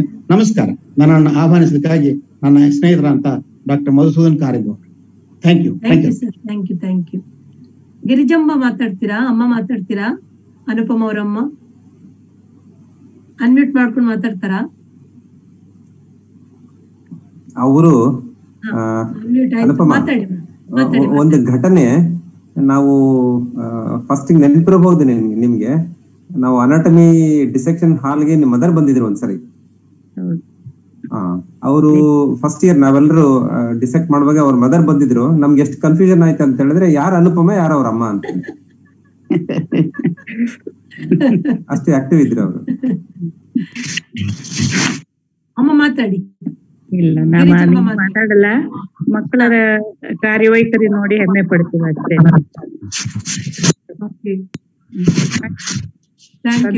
ಕೇವಳು ಮುಂದುವರಲಿ ದೇವರ ಆಶೀರ್ವಾದ ಇರ್ಲಿ ಅಂತ ನಾವು ಕೇಳ್ಕೊಳ್ತೀವಿ ಮತ್ತೆ. ಮತ್ತೆ ಮಾತಾಡಿ ಇನ್ಯಾರಿಗಾರ ಅವಕಾಶ ಕೊಟ್ಟು ಮಾತಾಡಿ. ಮಾತಾಡಿದ್ರಲ್ಲ ಅವಾಗ? ಅದೇ ಒಂದೇ ಒಂದು ಸ್ವಲ್ಪ ಒಂದು ಮಾತಾಡ್ಬೇಕಿತ್ತು ಅನುಪಮ ಅವ್ರ ಅನುಪಮ ಅವ್ರ ಈಗ ತಾವೊಂದು ಮಾತಾಡಿದ್ರಿ ಆ, ಅಮರತ್ವವನ್ನ ಬಯಸ್ಲಿಕ್ಕೆ ಲೇಖಕರು ಬರೀತಾರೆ ಅನ್ನುವುದು ಒಂದು ಎಷ್ಟು ಸರಿ ಅಂತ. ಯಾಕಂದ್ರೆ ನಾನು ತುಂಬಾ ಕವನಗಳು ಬರ್ದಿದ್ದೇನೆ. ಅದು ನನಗೆ ಅಮ್ಮ ಆತರ ತಮ್ ತರನೇ ಯೋಚನೆ ಮಾಡಿ ಪ್ರಚಾರಕ್ಕೋಸ್ಕರ ಬರಿತೀವ ಅಮರತ್ವ ಅಂತ ಹೇಳಿ ನಾನು ಬರೆಯೋದ್ ಬಿಟ್ಬಿಟ್ಟಿದ್ದೆ. ಮತ್ತೆ ಅದು ಒಳಗಡೆಯಿಂದಲೇ ತುಡಿತಾ ಬಂದ್ಬಿಡುತ್ತೆ. ಒಂಥರ ಬಸ್ರಿ ಆದ್ಮೇಲೆ ಇರ್ಲೇಬೇಕು ಆ ತರ ತುಡಿತಾ ಬಂದ್ಬಿಡುತ್ತೆ. ಅಮರತ್ವ ಅನ್ನೋದ್ಕಿಂತ ಆ ಯಾವುದೇ ಲೇಖಕರಿಗೆ ಅದು ತುಡಿತ ಬರ್ದಲ್ಲೇ ಬರೆಯಕ್ಕಾಗಲ್ಲ ಅನ್ನೋದು ನನ್ ಭಾವನೆ. ಅಮರತ್ವ ಬಯಸಿ ಯಾರು ಬರೆಯಕ್ ಹೋಗಲ್ಲ ಅಂತ. ಇಲ್ಲ ನಾನು ಆತರ ಹೇಳಿದ್ದಲ್ಲ ಅಂದ್ರೆ ಅಮರತ್ವಕ್ಕೋಸ್ಕರ ಬರೀತಾರೆ ಅಂತಲ್ಲ. ಅಂದ್ರೆ ಎಲ್ಲ ಮನುಷ್ಯರೊಳಗೂ ಒಂದು ಅಮರತ್ವದ ಹಂಬಲ ಇರುತ್ತಲ್ಲ. ಬೇರೆ ದಿಕ್ಕಲ್ಲಿ ಏನೋ ಒಂದು ಏನೋ ಒಂದ್ ಸಂಘ ಸಂಸ್ಥೆ ಅಥವಾ ಇನ್ಯಾವುದೋ ಒಂದು ಆ ಪುಸ್ತಕ ಬರೀ ಊಟ ತಿಂಡಿ ಬಟ್ಟೆಗೆ ಸಮಾಧಾನ ಆಗಲ್ಲ. ಬೇರೆ ಏನೋ ಮಾಡಬೇಕು ನಾನು ಮಾಡುತ್ತೆ ಅದೇ ಬುದ್ಧನಿಗೂ ಹೌದೌದು. ಈನಂ ಶ್ರೀಯ ಕಾವ್ಯ ಮೀಮಾಂಸೆಯಲ್ಲಿ ಹೇಳ್ತಾರೆ ಕವನ ಅಥವಾ ಯಾವುದೇ ಸಾಹಿತ್ಯ ಐದು ಕಾರಣಕ್ಕೆ ಯಾರಾದ್ರೂ ಬರಿಬಹುದು ಒಂದು ಕೀರ್ತಿಗಾಗಿ ನನ್ನ ಹೆಸರು ಉಳಿಬೇಕು ಅನ್ನೋ ಕಾರಣಕ್ಕಾಗಿ ಇನ್ನೊಂದು ಧನಾರ್ಜನೆಗಾಗಿ ಅಂದ್ರೆ ದುಡ್ಡು ಸಂಪಾದನೆಗಾಗಿ ಅದಕ್ಕೂ ಬರಿ ಅಥವಾ ಯಾರನ್ನೋ ಮೆಚ್ಚಿಸ್ಲಿಕ್ಕಾಗಿ ಇವಾಗ ರಾಜನ ಇದ್ರಲ್ಲಿ ಇದ್ಕೊಂಡು ಬರೀತಿದ್ರಲ್ಲ ಆ ರಾಜನನ್ನ ಮೆಚ್ಚಿಸ್ಲಿಕ್ಕಾಗಿ ಅದಕ್ಕೆ ಬರಿಬಹುದು ಅಥವಾ ಇನ್ನೊಂದು ಯಾರಿಗೂ ಉಪದೇಶ ಕೊಡ್ಲಿಕ್ಕಾಗಿ ನೋಡಪ್ಪ ಹೀಗಿರು ಈಗ ವೈದ್ಯ ಸಾಹಿತ್ಯಗಳು ಕೆಲವು ಸರ್ತಿ ನಾವು ಇನ್ನೊಬ್ರಿಗೆ ದಾರಿ ತೋರಿಸ್ಲಿಕ್ಕಾಗಿ. ಕೊನೆಯದು ಆತ್ಮ ಸಂತೋಷಕ್ಕಾಗಿ ಆಕ್ಚುಲಿ ಅಲ್ಟಿಮೇಟ್ ಆಗಿ ಎಲ್ರು ಬರೆಯೋದು ಆತ್ಮ ಸಂತೋಷಕ್ಕಾಗಿ ಮತ್ತೆ ಉಳಿದದ್ದು ನಾಲ್ಕು ಪೂರಕವಾಗಿರುತ್ತೆ. ಸತ್ಯ. ಸತ್ಯ ಸತ್ಯ. ಬುದ್ಧನಿಗೂ ಬುದ್ಧನಾಗುವ ಆಸೆ ಇತ್ತು ಅಂದಾಗೆ. ಅದು ಐದು ಕಾರಣಗಳು. ಒಬ್ಬೊಬ್ಬರಿಗೆ ಒಂದೊಂದು ಮುಖ್ಯವಾಗಿ ಕಾಣ್ಬೋದು. ಇನ್ನೊಬ್ಬರಿಗೆ ಮುಖ್ಯವಾಗಿ ಕಾಣ್ಬೋದು. Thank you thank you. ಬೇರೆ ಯಾರಾದ್ರೂ ಮಾತಾಡೋದಿದ್ರೆ ಮಾತಾಡಿ ಮತ್ತೆ ನಾವು ಈ ಕಾರ್ಯಕ್ರಮವನ್ನ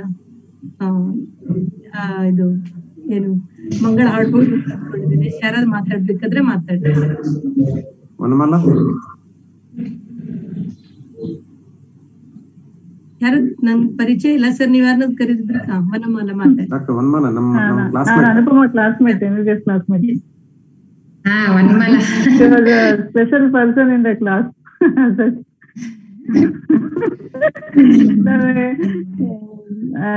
remember those days ಬಹಳ ಚೆನ್ನಾಗಿ ಮಾತಾಡ್ತಿದ್ಲು. ನಾನು ಒಂದು ಎಪಿಸೋಡ್ ಐ ಆಲ್ವೇಸ್ ರಿಮೆಂಬರ್ ಒಂದ್ಸರಿ ಒಂದ್ ಮರ್ಮರ್ ಗೊತ್ತಾಗಿದ್ರು ಅನುಪಮನಾಗಿದೆ ಮರ್ಮರೇ ಗೊತ್ತಾಗ್ತಿಲ್ಲ. ಎಲ್ರೂ ಯಾವ್ದಾದ್ರು ಮರ್ಮರ್ ಇದೆ ಅಂತಿದಾರೆ ಏನ್ ಮಾಡ್ಲಿ ಅಂದ್ರೆ? ಏ, ಸುಮ್ನಿರ ಕಣೆ. ನಿನಗೆ ಕಾರ್ಡಿಯಾ ಕೇಸಲ್ಲಿ ಮರ್ಮರ್ ಇದೆ. ಬೇರೆ ಕಡೆ ಕಳಿಸ್ಬೇಕು ಅಂತ ಗೊತ್ತಾದ್ರೆ ಸಾಕು. ಯಾಕೆ ತಲೆ ಕೆಡ್ಕೊಂತೀಯ ಅದು ಎಂ ಡಿ ಎಂ ಇದೆಯೋ? ಇಂಜೆಕ್ಷನ್ ಇದೆಯೋ? ಏನಿದೆಯೋ first thing is you should know that the patient is not in failure second thing is it's cardiac case and you to refer ಇಷ್ಟು ಗೊತ್ತಾದ್ರೆ ಸಾಕು that gave so much of confidence ನಾನು exam hall ಹೋಗಿದ್ ಮುಂಚೆ ಮಾತಾಡಿದ್ದು after that ಇವಾಗ ಯಾವತ್ತಾದ್ರೂ ಯಾವ ಕೇಸ್ ನೋಡಿದ್ರೆ ನೆನಪು ಮಾಡ್ಕೋತೀನಿ. A physician opinion, physician's opinion, I always remember that. ನೆನ್ಸ್ಕೊಂಡೇ ಬರ್ತೀನಿ. ಎಷ್ಟು ನಿಜ ಹೇಳಿದಲ್ಲ ಹೌ ಸಿಂಪ್ಲಿಫೈಡ್ ವೇದಲ್ಲಿ ನಮ್ಗೆ ತಿಳಿಸಿ ಧೈರ್ಯ ಕೊಟ್ಲಲ್ಲ ಅಂತ ಯಾವತ್ತು ನೆನ್ಸ್ಕೊಳ್ತೀನಿ. Very very proud of you Anupama. ಹೇಳಕ್ಕೆ ಮಾತಿಲ್ಲ. I can't explain words I always keep telling ಎಲ್ಲರಿಗೂ ಹೇಳ್ತಾ ಇರ್ತೀನಿ. ಖುಷಿ ಅನ್ಸುತ್ತೆ. That we had some time together ಅಂತ ಬಳ್ಳಾರಿಯಲ್ಲಿ. ನನಗೂ ಕ್ಲಾಸಿನ ಇದು ನೆನಪಾಗ್ತಾ ಇದೆ. ಹೌದು ಫೋರ್ಟೀನ್ ಬ್ಲಾಕ್. ಅಲ್ಲಿ ಇದ್ರು ನಾವು ಏಯ್ಟೀನ್ ಬ್ಲಾಕ್ ಅಲ್ಲಿ ಇದ್ವಿ. ಬಟ್ ಕ್ಲಾಸ್ ಅಲ್ಲೆಲ್ಲ ಜೊತೆಯಲ್ಲಿ ಇರ್ತಿದ್ವಲ್ಲ every time but she made it very big ಅವಳು ಪೋಸ್ಟ್ ಗ್ರಾಜುಯೇಷನ್ ಮಾಡದೇ ಇದ್ದಾಗ ನಾನು ಕೇಳಿದೆ ಕ್ಲಾಸಿಂದ ಬೆಸ್ಟ್ ಔಟ್ ಗೋಯಿಂಗ್ ಸ್ಟೂಡೆಂಟ್ ಆಗಿ ಯಾಕೆ ಮಾಡ್ಲಿಲ್ಲ ಅಂತ. ಒಂದೇ ಮಾತು ಹೇಳಿದ್ಲೆ ನಂಗೆ ಬರೆಯೋ ಹುಚ್ಚಿತ್ತಲ್ಲ ಬರೆಯೋದಕ್ಕೆ ಟೈಮ್ ಬೇಕಾದ್ರೆ ಬೇರೆ ಕಡೆ ಕಾಂಪ್ರಮೈಸ್ ಮಾಡ್ಕೋಬೇಕಾಗತ್ತೆ ಅಂತ. ಐ ಎಂ ಗೈನಕಲಾಜಿಸ್ಟ್ ಅಂಡ್ ನಿನಗೆ ಗೊತ್ತಲ್ಲ ಇವಾಗ ನಿನಗೆ ಏನಾದ್ರು ಬೇರೆ ಮಾಡಕ್ಕಾಗತ್ತಾ? ಸಿಜರ್ ಏನೋ ಡೆಲಿವರಿ ಮಾಡೋದ್ ಬಿಟ್ಟು ಬೇರೆ ಮಾಡಕ್ಕಾಗತ್ತಾ? ಆಗಲ್ಲಲ್ಲ? ಆತರ my main aim is right so I chose this ಅಂತಂದ್ಲು ಅವಾಗ ನನಗೆ ಓಕೆ ಸಮಾಧಾನ ಆಯ್ತು. ನನ್ನೊಂದು ಯಾಕೆ ಇದು ಸ್ಪೆಷಲೈಸೇಷನ್ ಬೇಕು ಅಂತ? ಹೋಗ್ಲೇ ಇಲ್ಲ ನಾನು ಎಂಟ್ರೆನ್ಸ್ ಬರಲಿಲ್ಲ. ಯಜ- ಯಜಮಾನ್ರು ಇದಾರಲ್ಲ? ಅವರು ಚೆನ್ನಾಗಿ great work uh Great work there no very nice nice to see Anupama ಎಲ್ಲರ ಪ್ರೀತಿಗೆ ಶರಣು. More from you more books more books more writing very very happy to see you like this congratulation Someshwar sir ಚೆನ್ನಾಗಿತ್ತು madam programme is very nice thank you Someshwar sir ಎರಡು ಮಾತು ನಾ Someshwar sir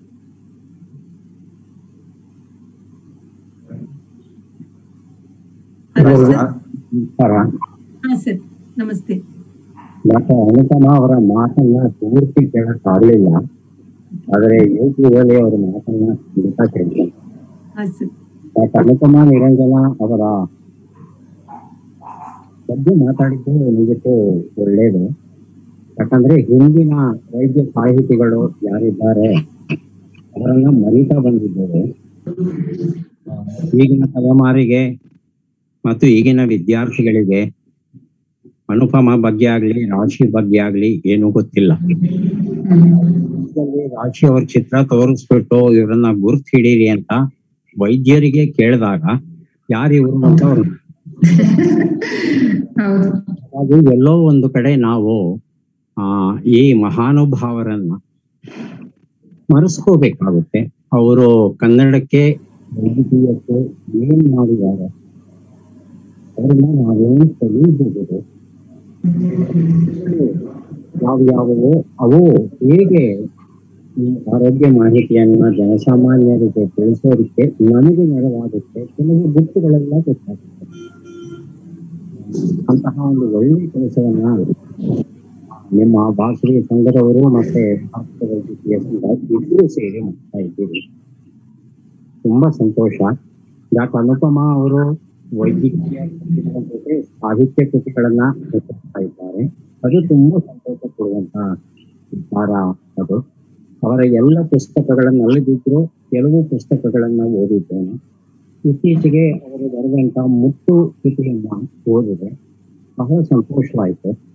ಅದರಲ್ಲಿ ಅವರ ಗೆಳತಿಯರ, ಹನ್ನೆರಡು ಗೆಳತಿಯರ ಅನುಭವಗಳನ್ನ ಏನ್ ಬರೆದಿದ್ರು, ಅದು ದಾರಿದೀಪ ಮಾರ್ಗದಲ್ಲ ಆ ಹನ್ನೆರಡು ದಾರಿ ದೀಪಗಳು ಏನಿವೆ, ಅದಕ್ಕೆ ಒಂದಷ್ಟು ಕೊಡ್ಕೊಂಡ್ರೆ ಅನೇಕ ಮಹಿಳೆಯರು ಮುಂದೆ ಬಂತು ತಮ್ಮ ಸಾಂಸ್ಕೃತಿಕ ಹಿನ್ನೆಲೆಯಲ್ಲಿ ತಾವು ಪಟ್ಟಂತ ನೋವು ನಲಿ, ಎರಡನ್ನೂ ಅವರು ತಿಳಿಸೋಕೆ ಸಾಧ್ಯವಾಗುತ್ತೆ. ಆದರೆ ಇಂತಹ ಒಂದು ವಿಚಾರದ ಬಗ್ಗೆ ಪುಸ್ತಕವನ್ನ ಬರೆದು ಪ್ರಕಟಿಸಿದ್ರಲ್ಲ, ಅದು ಬಹಳ ಸಂತೋಷವಾಯಿತು. ಜೊತೆಗೆ ಹಾಡಿನ ರೂಪದಲ್ಲಿ ಮುಕ್ತಿನ ಬಗ್ಗೆ ಒಂದು ಜ್ಞಾನವನ್ನು ಹೆಚ್ಚಿಸುವ ಪ್ರಯತ್ನ ಏನ್ ನಡೆದಿದೆ ಅದು ಶ್ಲಾಘನೀಯವಾದದ್ದು ಒಟ್ಟಲ್ಲಿ ಡಾಕ್ಟರ್ ನಿಪಮ ಅವರು ಬಹಳ ಒಳ್ಳೆ ಕೆಲಸವನ್ನ ಮಾಡ್ತಾ ಇದ್ದಾರೆ. ಅಭಿನಂದನೆಗಳು. ಒಳ್ಳೆಯ ಕೃತಿಗಳನ್ನ ನಿರೀಕ್ಷಿಸ್ತಾ ಇದ್ದೇವೆ. ಅಭಿನಂದನೆಗಳು ಹಾಗೂ ಧನ್ಯವಾದಗಳು. ಒಂದು ಪ್ರಶ್ನೆ ಇದೆ. ಈಗ ತಾಯಿ ಮಗುವನ್ನು ಓದಿದಾಗ ಈಗ ನಾವು ಈಗ ಬರೀತಿರ್ತೀವಲ್ವಾ? ಮೆಡಿಕಲ್ ಸಂಬಂಧಪಟ್ಟಿದ್ದು. It is true for the current medical literature because every every day there is a lot of new advances happening in medical field what should be kept in mind when the doctors write for general public ಅಂತ? ನಾವು ತುಂಬಾ specialist ಇದನ್ನೆಲ್ಲ ಬರಿಬೇಕಾಗಿಲ್ಲ ಅದರೊಳಗೆ. ಈಗ ಒಬ್ಬ ತಾಯಿ ಆದವಾಗ ಏನ್ care ತಗೋಬೇಕು? ಅಥವಾ ಮಗುವನ್ನ ನೋಡ್ಕೊಳ್ಳುವಾಗ ತಾಯಿ ಮಗುವಿನ ಸಂಬಂಧದಲ್ಲಿ ಬರೋ ಆತಂಕಗಳು, ಅದೆಲ್ಲ ಎಲ್ಲ ಜನರೇಷನ್ಗೂ ಹೆಚ್ಚು ಕಡಿಮೆ ಒಂದೇನೆ. ಅಲ್ವಾ? ಈಗ ನಮ್ಮ ಅಮ್ಮಂಗೆ, ನಮ್ಮ ಅಜ್ಜಿಯರಿಗೆ ಬಂದಿರೋ ಇದು ಒಂದೇನೆ. ಅದರ ಪರ, ಇದು ಪರಿಹಾರಗಳು ಬೇರೆ ಬೇರೆ ಇರ್ಬೋದು. ಅದಕ್ಕೆ ಅನುಪಮ ನಿರಂಜನ ಬರ್ದಿರೋ ತಾಯಿ ಮಗುನ ಇನ್ ಎರಡು ಶತಮಾನ ಬಿಟ್ಟು ಓದ್ತಾ ಇರಕ್ಕಾಗಲ್ಲ.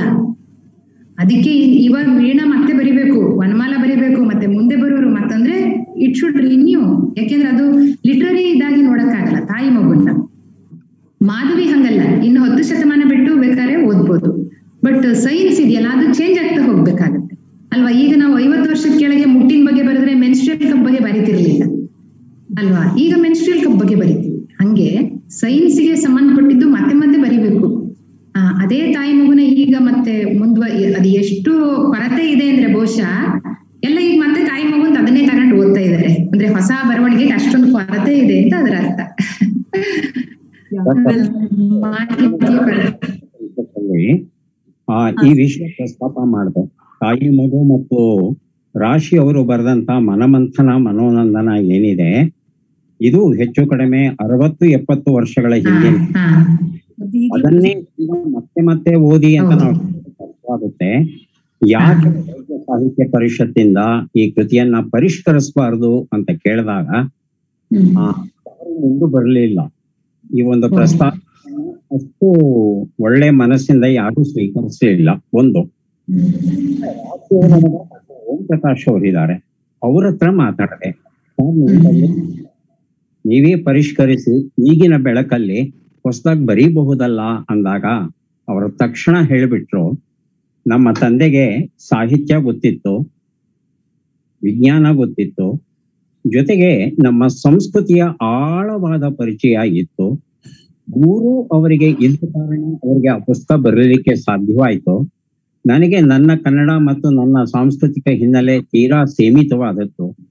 ಹಾಗಾಗಿ ಆ ಪುಸ್ತಕವನ್ನ ಪರಿಷ್ಕರಿಸುವ ಯೋಗ್ಯತೆ ನನಗಿಲ್ಲ ಅಂತ ನೇರವಾಗಿ ಹೇಳಿದ್ರು ಹಾಗಾಗಿ ಈ ಒಂದು ವಿಚಾರವನ್ನ ಮತ್ತೆ ಒಂದು ಸಲ ಆ, ಪರಿಷ್ಕಾರ ಮಾಡಿ ಅಂತ ಕೇಳಿದಾಗ ನಮ್ಮ ಹಿರಿಯ ವೈದ್ಯರ ಜೊತೆ, ನೀವು ಅದನ್ನ ಆಧಾರವಾಗಿ ಇಟ್ಕೊಂಡು ಹೊಸದಾಗಿ ಒಂದು ಪುಸ್ತಕ ಬೇಕಾದ್ರೆ ನೀವು ಬರೀರಿ, ಅದಕ್ಕೆ ನಾವು ಬೆಂಬಲ ಕೊಡ್ತೇವೆ.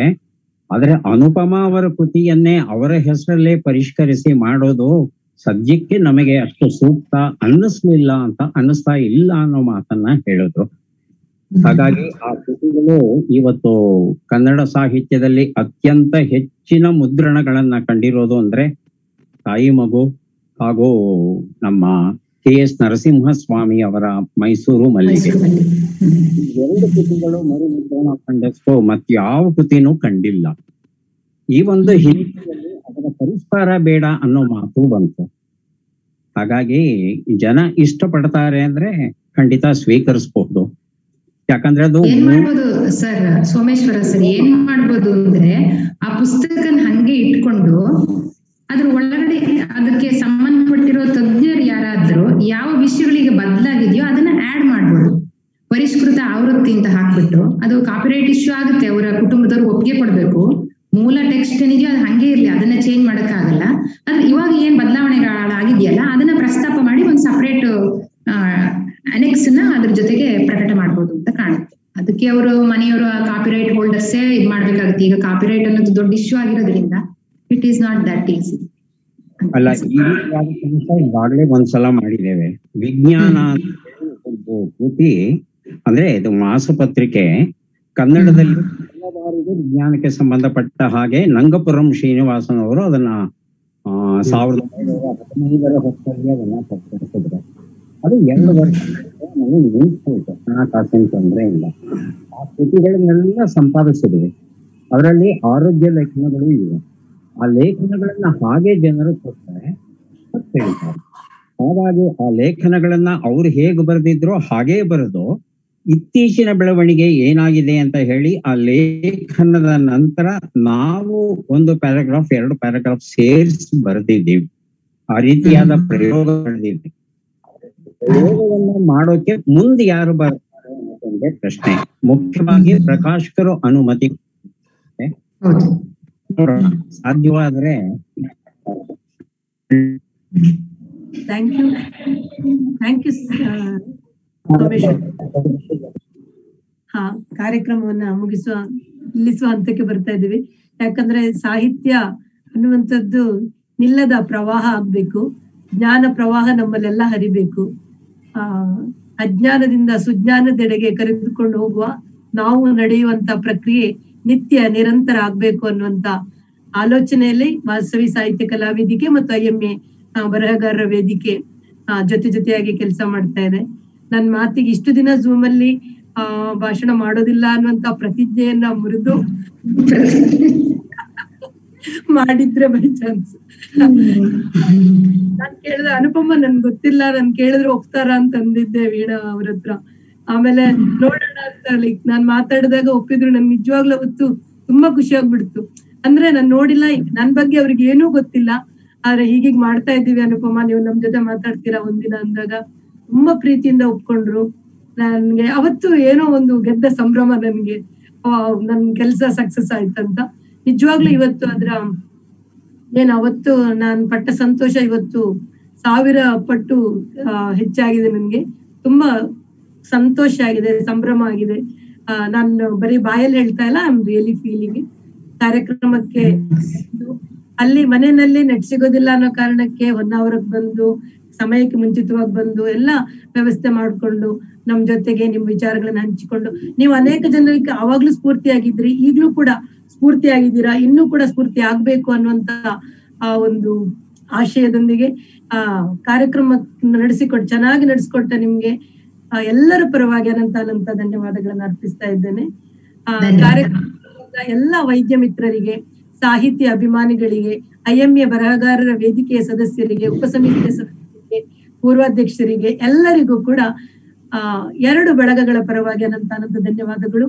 ಅನುಪಮ ಅವರ ಅಭಿಮಾನಿ ಮಿತ್ರರಿಗೆ ಮತ್ತು ವಾಸವಿ ಸಾಹಿತ್ಯ ಕಲಾ ವೇದಿಕೆ ಅಭಿಮಾನಿ ಮಿತ್ರರಿಗೆ ಹಾಗೂ ಸಾಹಿತ್ಯ ಅಭಿಮಾನಿಗಳಿಗೆ ಪ್ರೀತಿಯ ನಮಸ್ಕಾರಗಳನ್ನು ಹೇಳ್ತಾ, ಕನ್ನಡ ಪುಸ್ತಕವನ್ನು ಕೊಂಡು ಓದುವ ಸಂಸ್ಕೃತಿಯನ್ನ ಮುಂದುವರಿಸಿ, ಪುಸ್ತಕವನ್ನ ಕೊಂಡು ಓದಿ ಎರವಲು ತೆಗೆದುಕೊಂಡಲ್ಲ, ಆಗ ಅದನ್ನ ಮಾಡಿದ ಪ್ರಕಾಶಕರಿಗೂ ಅನುಕೂಲ ಆಗುತ್ತೆ ಬರ್ದ ಲೇಖಕರಿಗೂ ಇಷ್ಟ ಆಗುತ್ತೆ.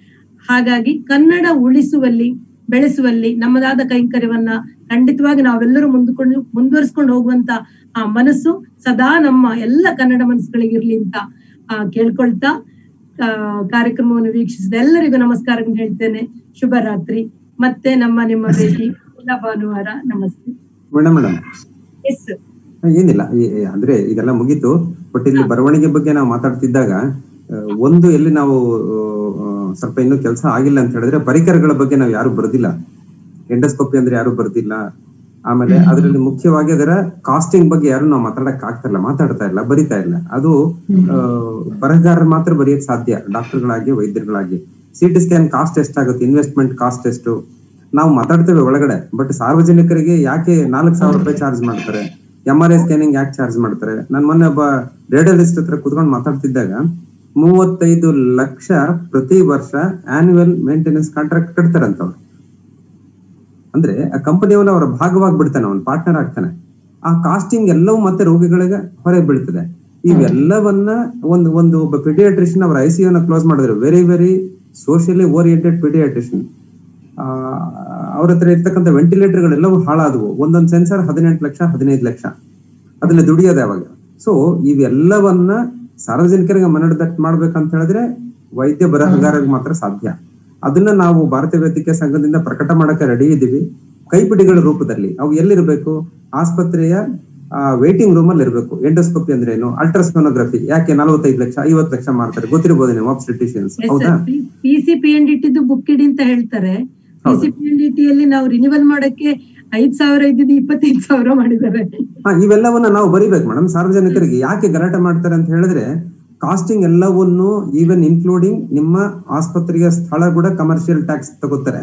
ಐದು ಪಟ್ಟು ಟ್ಯಾಕ್ಸ್ ಜಾಸ್ತಿ ತಗೋಕೊಳ್ತಾರೆ ಹೌದಾ? ಎಲೆಕ್ಟ್ರಿಕಲ್ ಬಿಲ್ಲು ಐದ್ ಐದು ಪಟ್ಟು ಜಾಸ್ತಿ ಆಗುತ್ತೆ. ಸೊ ಎಲ್ಲವೂ ಯಾರು ಸಾರ್ವಜನಿಕರು ಎಲ್ಲರೂ ಏನಾಗಿದ್ದಾರೆ ಅಂದ್ರೆ ಎಲ್ಲರೂ ಸರ್ವಿಸ್ ಓರಿಯೆಂಟೆಡ್ ನಾನು ಸರ್ವಿಸ್ ಅಲ್ಲ ಇದ್ದೀನಿ.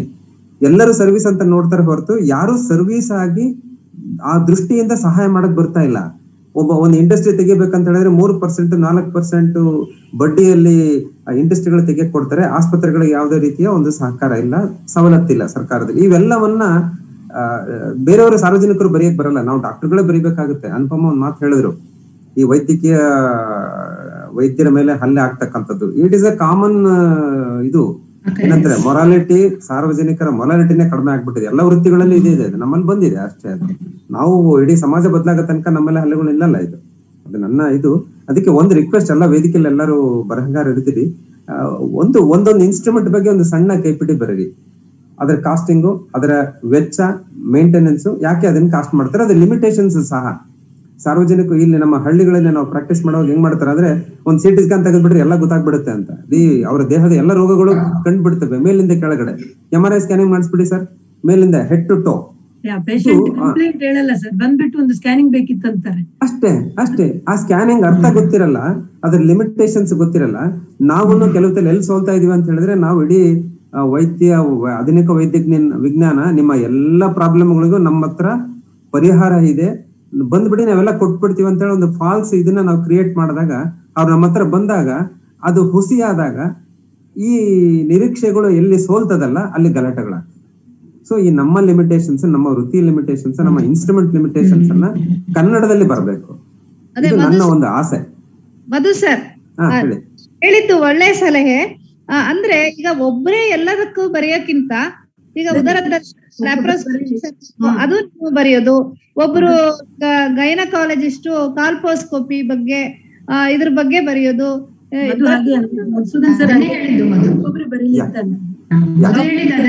ಅಂದ್ರೆ ಎಲ್ಲ ಅವ್ರವ್ರ ಕ್ಷೇತ್ರದ ಬಗ್ಗೆನೂ ಒಂದ್ ಸಣ್ಣ ಸಣ್ಣದ್ ಬರ್ಕೊಟ್ರೆ ಎಸ್ ಅಬ್ಸಲ್ಯೂಟ್ಲಿ ಕರೆಕ್ಟ್ ನಮ್ಮ ಆಸ್ಪತ್ರೆ ಒಳಗಡೆ ಕನ್ಸಲ್ಟೇಷನ್ ರೂಮ್ ಅಲ್ಲೇ ಒಂದಿಷ್ಟು ಕೈಪಿಗಳು ಇಡ್ಬೇಕು. ಅದು ಪ್ರಕಟ ಆಗ್ಬೇಕು ಜನಗಳಿಗೆ ತಲುಪಕ್ ಅನ್ನೋದ್ರ ಜೊತೆಗೆ ನಮ್ಮ ವೈದ್ಯರುಗಳ ಆಸ್ಪತ್ರೆಯಲ್ಲಿ ಇರ್ತಾರೆ ನಾವು ಎಂಡೋಸ್ಕೋಪಿ ಒಳಗೆ ಬರೋದಕ್ಕಿಂತ ಮೊದಲು ಕನ್ನಡದಲ್ಲಿ ಓದ್ಕೊ ಬರ್ತೇನೆ ಎಂಡೋಸ್ಕೋಪಿ ಅಂದ್ರೆ ಅದರ ಕಾಸ್ಟಿಂಗ್ ಎಷ್ಟು ಲಿಮಿಟೇಷನ್ಸ್ ಅದ್ರಲ್ಲಿ ಏನ್ ಗೊತ್ತಾಗುತ್ತೆ And even ನಾವ್ ಏನ್ ಔಷಧಗಳು ಕೊಡ್ತೀವಿ? ಯಾ ಇವೆಲ್ಲವನ್ನ ಒಂದು ಒಂದು ಒಂದು ನಟ್ಶೆಲ್ ಅಲ್ಲಿ ಸಂಕ್ಷಿಪ್ತವಾಗಿ ಒಂದು ನಾಲ್ಕು ಎರಡು ಪೇಜ್ ತಗೊಂಡು ಒಳಗ್ ಬಂದಾಗ ಇದು ನಾವು ಇಂಗ್ಲಿಷ್ ಅಲ್ಲಿ ನೋಡ್ತೇವೆ. ಕನ್ನಡದಲ್ಲಿ ನಾವು ಬರೀಬೇಕಂತ ಹೇಳಿ ನನ್ನ ಒಂದು ಇದು ಆಸೆ. ಭಾರತೀಯ ವೈದ್ಯಕೀಯ ಸಂಘ ಯಾವತ್ತು ಮುಂದೆ ಇರ್ತದೆ. ನಾವು ಪ್ರಕಟ ಮಾಡಕ್ ರೆಡಿ ಇದೀವಿ. ಎಕ್ಸ್ಪರ್ಟ್ ಇನ್ ಸಬ್ಜೆಕ್ಟ್ ಇಂಗ್ಲಿಷ್ನಲ್ಲಿ ಬರೆದ್ರೆ ನಾನು ತರ್ಜುಮೆ ಮಾಡಿ ಕೊಡುವೆ ಅಂತ ಬರೆದಿದ್ದಾರೆ doctor Ajay we can make it ನಾವು ನಮ್ಮ ಇದರಿಂದ ಕನ್ನಡ ಬರಹ ಬಳಗೆಯಿಂದ ನಾವು ಒಂದಿಷ್ಟು ಕೆಲಸವನ್ನು ಹಂಚ್ಕೊಂಡ್ಬಿಟ್ಟು ಬೇಕಾದ್ರೆ ಪ್ರಕಟ ಮಾಡೋಣ ಮೇಡಮ್. ವಿಲ್ ಗೋ ಒಳ್ಳೆ ಆಗ್ಬೇಕಾಗಿರೋ ಕೆಲಸ. Yeah thank you thank you Anupama okay ಎಲ್ಲರಿಗೂ yeah will end the show Yeah.